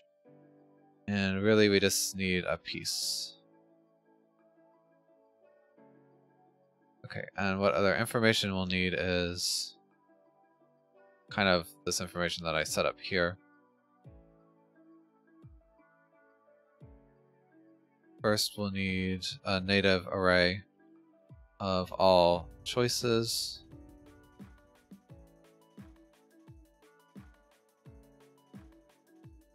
Oh, turn move choice.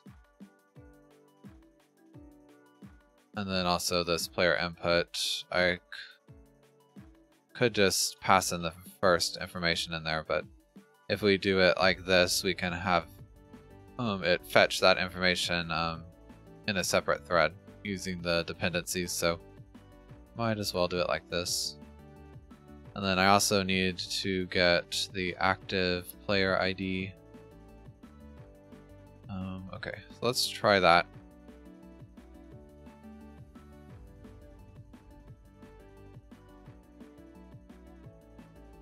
Okay, so if piece is not the active player ID, then we can just kind of disregard it. This is a little... Eh, maybe I should have done it as a post-update command, but...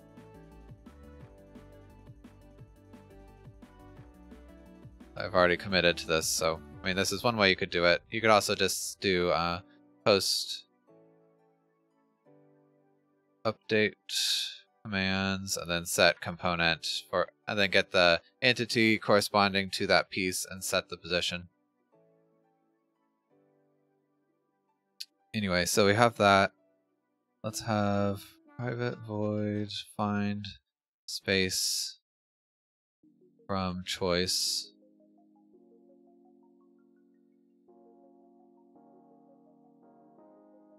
Warrant I zero i less than choices length. So if choices i id equals choice id, then we'll return choices i dot space. Otherwise we return, well this should never happen, but we'll just return zero.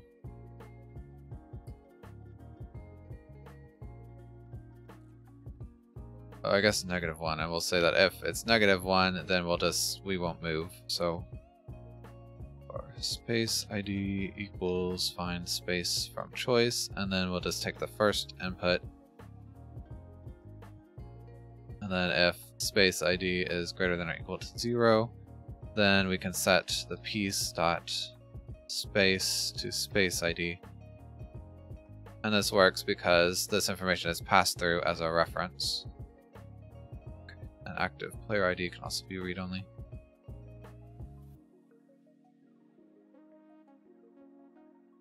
Yeah, I thought the Z didn't look right. Okay, so now what I need to do... Oh yeah, so this I need to return a job handle.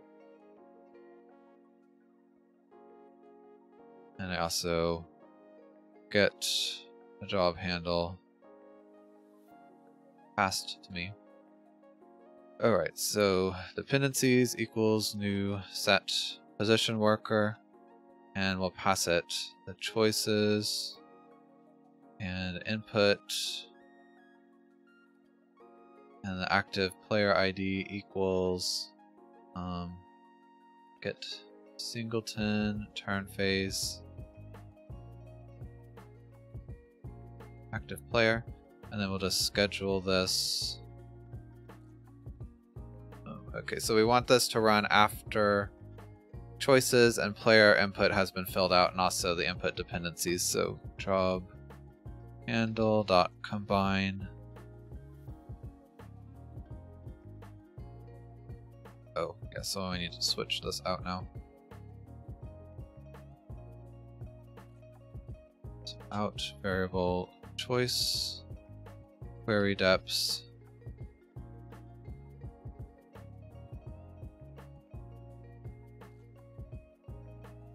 Okay, and then we'll just combine those dependencies together, which means this job will run after all these other jobs.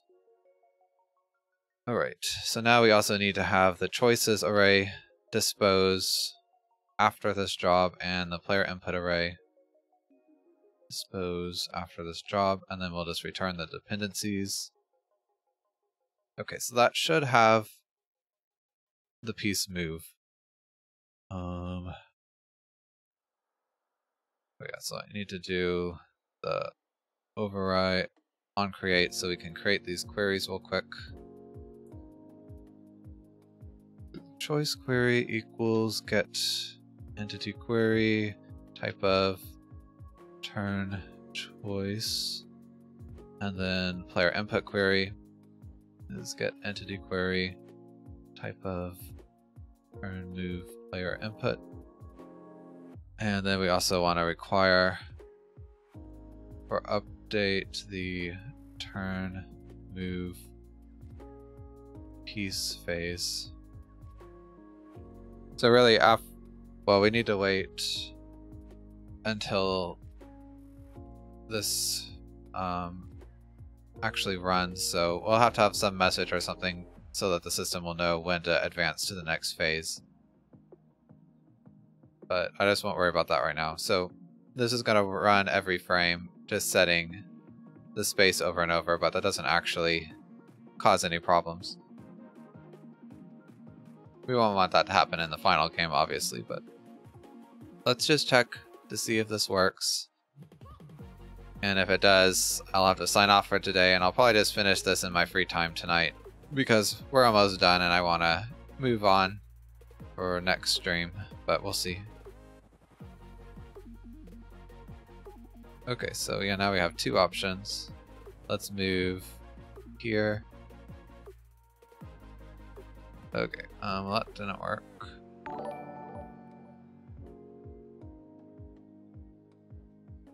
Oh, what happened there? Oh. Hey, Tim Rustwick. Thanks for the, the host. I really appreciate it. Just making a, a board game. I actually only have a few minutes left to stream, but it's nice of you all to come by. Hi, Shiny Deagle.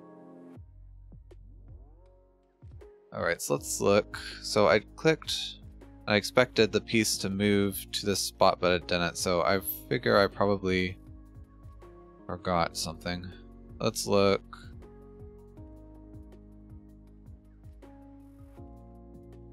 What's the board game?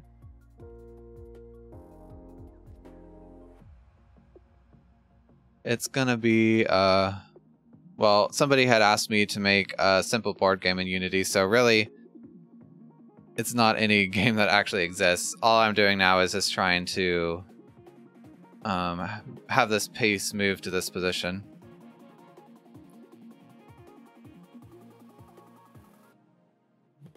So it's pretty, like I said, pretty simple. I'm just trying to um, show how you'd build something using Unity's entity system.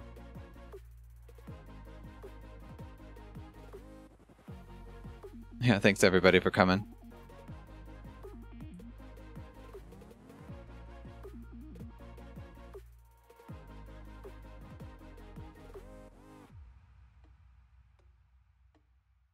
I'm sure no city.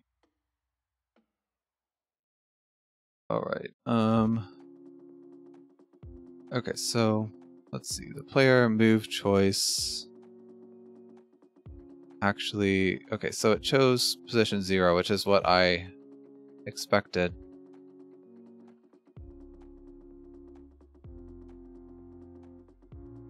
Oh yeah, choice is gonna have the choice zero, which is that one. Is that right?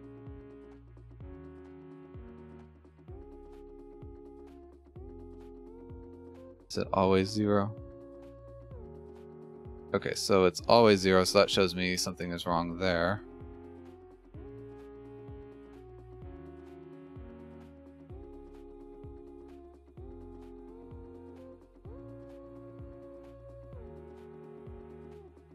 it's alright, Tim, I don't mind.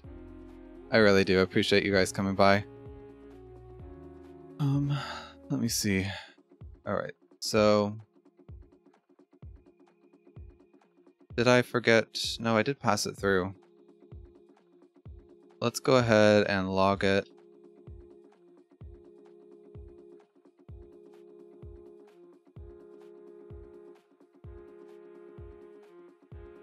Gotta recompile. So now I can see what Unity thinks it's setting there.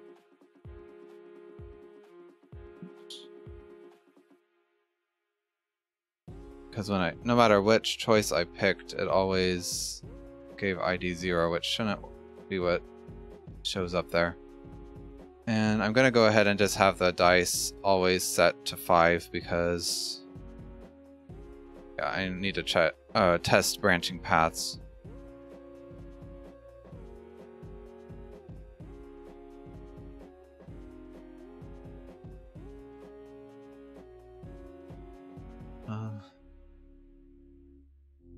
The stream like 15 minutes ago, but thanks Ben Buswick and Flex Flux Oblivion for following me. That's really nice of you.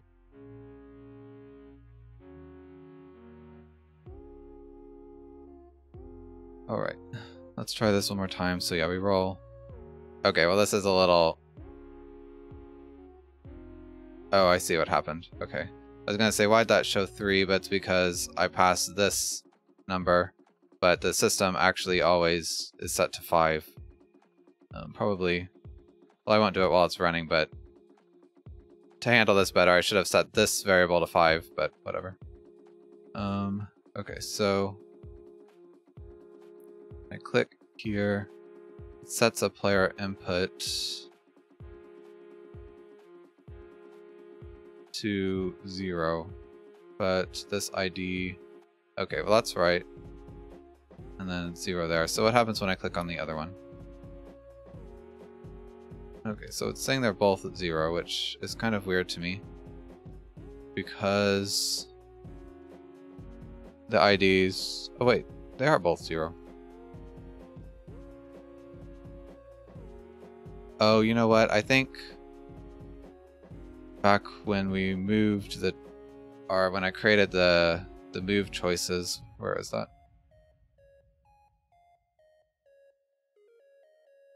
Yeah, so it's setting the ID correctly, but I think that the ID is always set to zero and the um, the turn move choice objects because I forgot to actually assign them an ID. Um, where is it?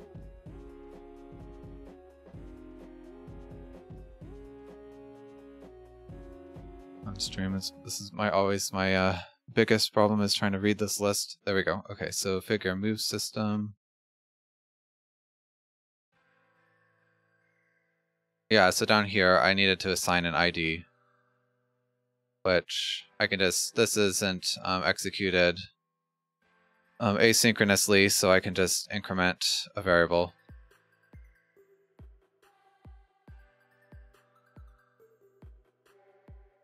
All right. But also, well, I should have tested that before I'm making it compile again, but um, also the piece wasn't moving up to the space, so I'm not sure what was going on there. Did I? Probably forgot to change the phase at some point. But the easiest way to test that is just to run it again.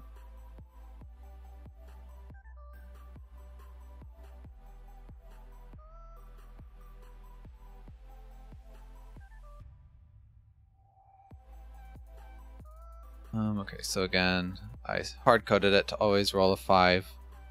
Let's check here. So yeah, that's, this has ID 0, and this one has ID 1, which is what I was hoping for. So yeah, it prints out 1. But yeah, the piece should move there immediately, so obviously I've forgot to link something else up. Let's look... Okay, so it's, yeah, it's staying on the pick move phase. Did I, I thought I created a, something to move out of that. Yeah, so move choice, input watcher.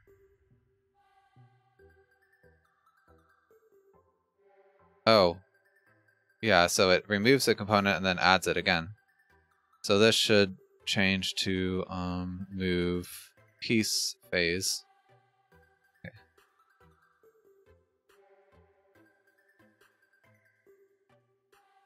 And I think that will move the piece up to the position.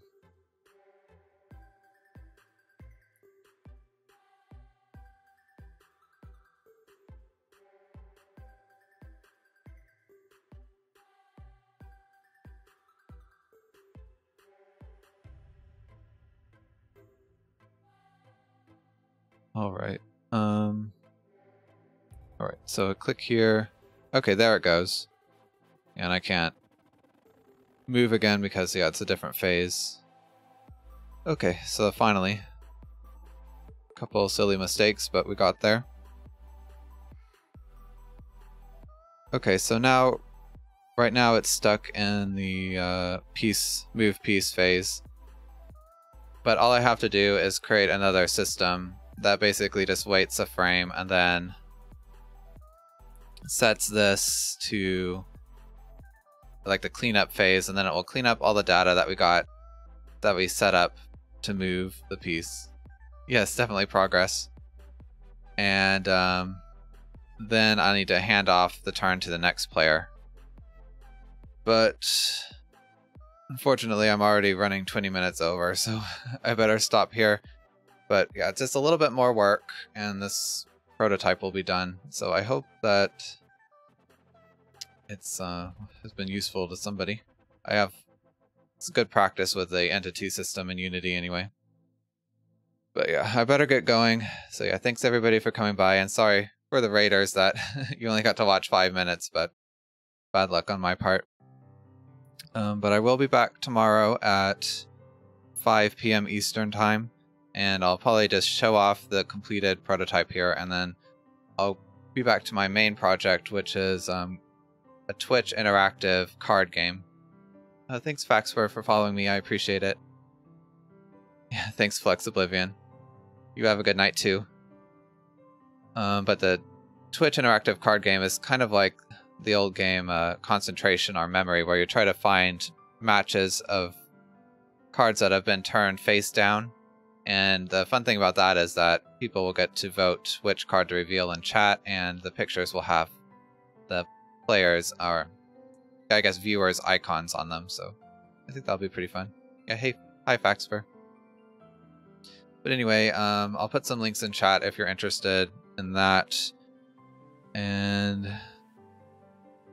yeah, I guess that's about it. So again, thanks everybody for coming by and hope to see you tomorrow. Bye bye.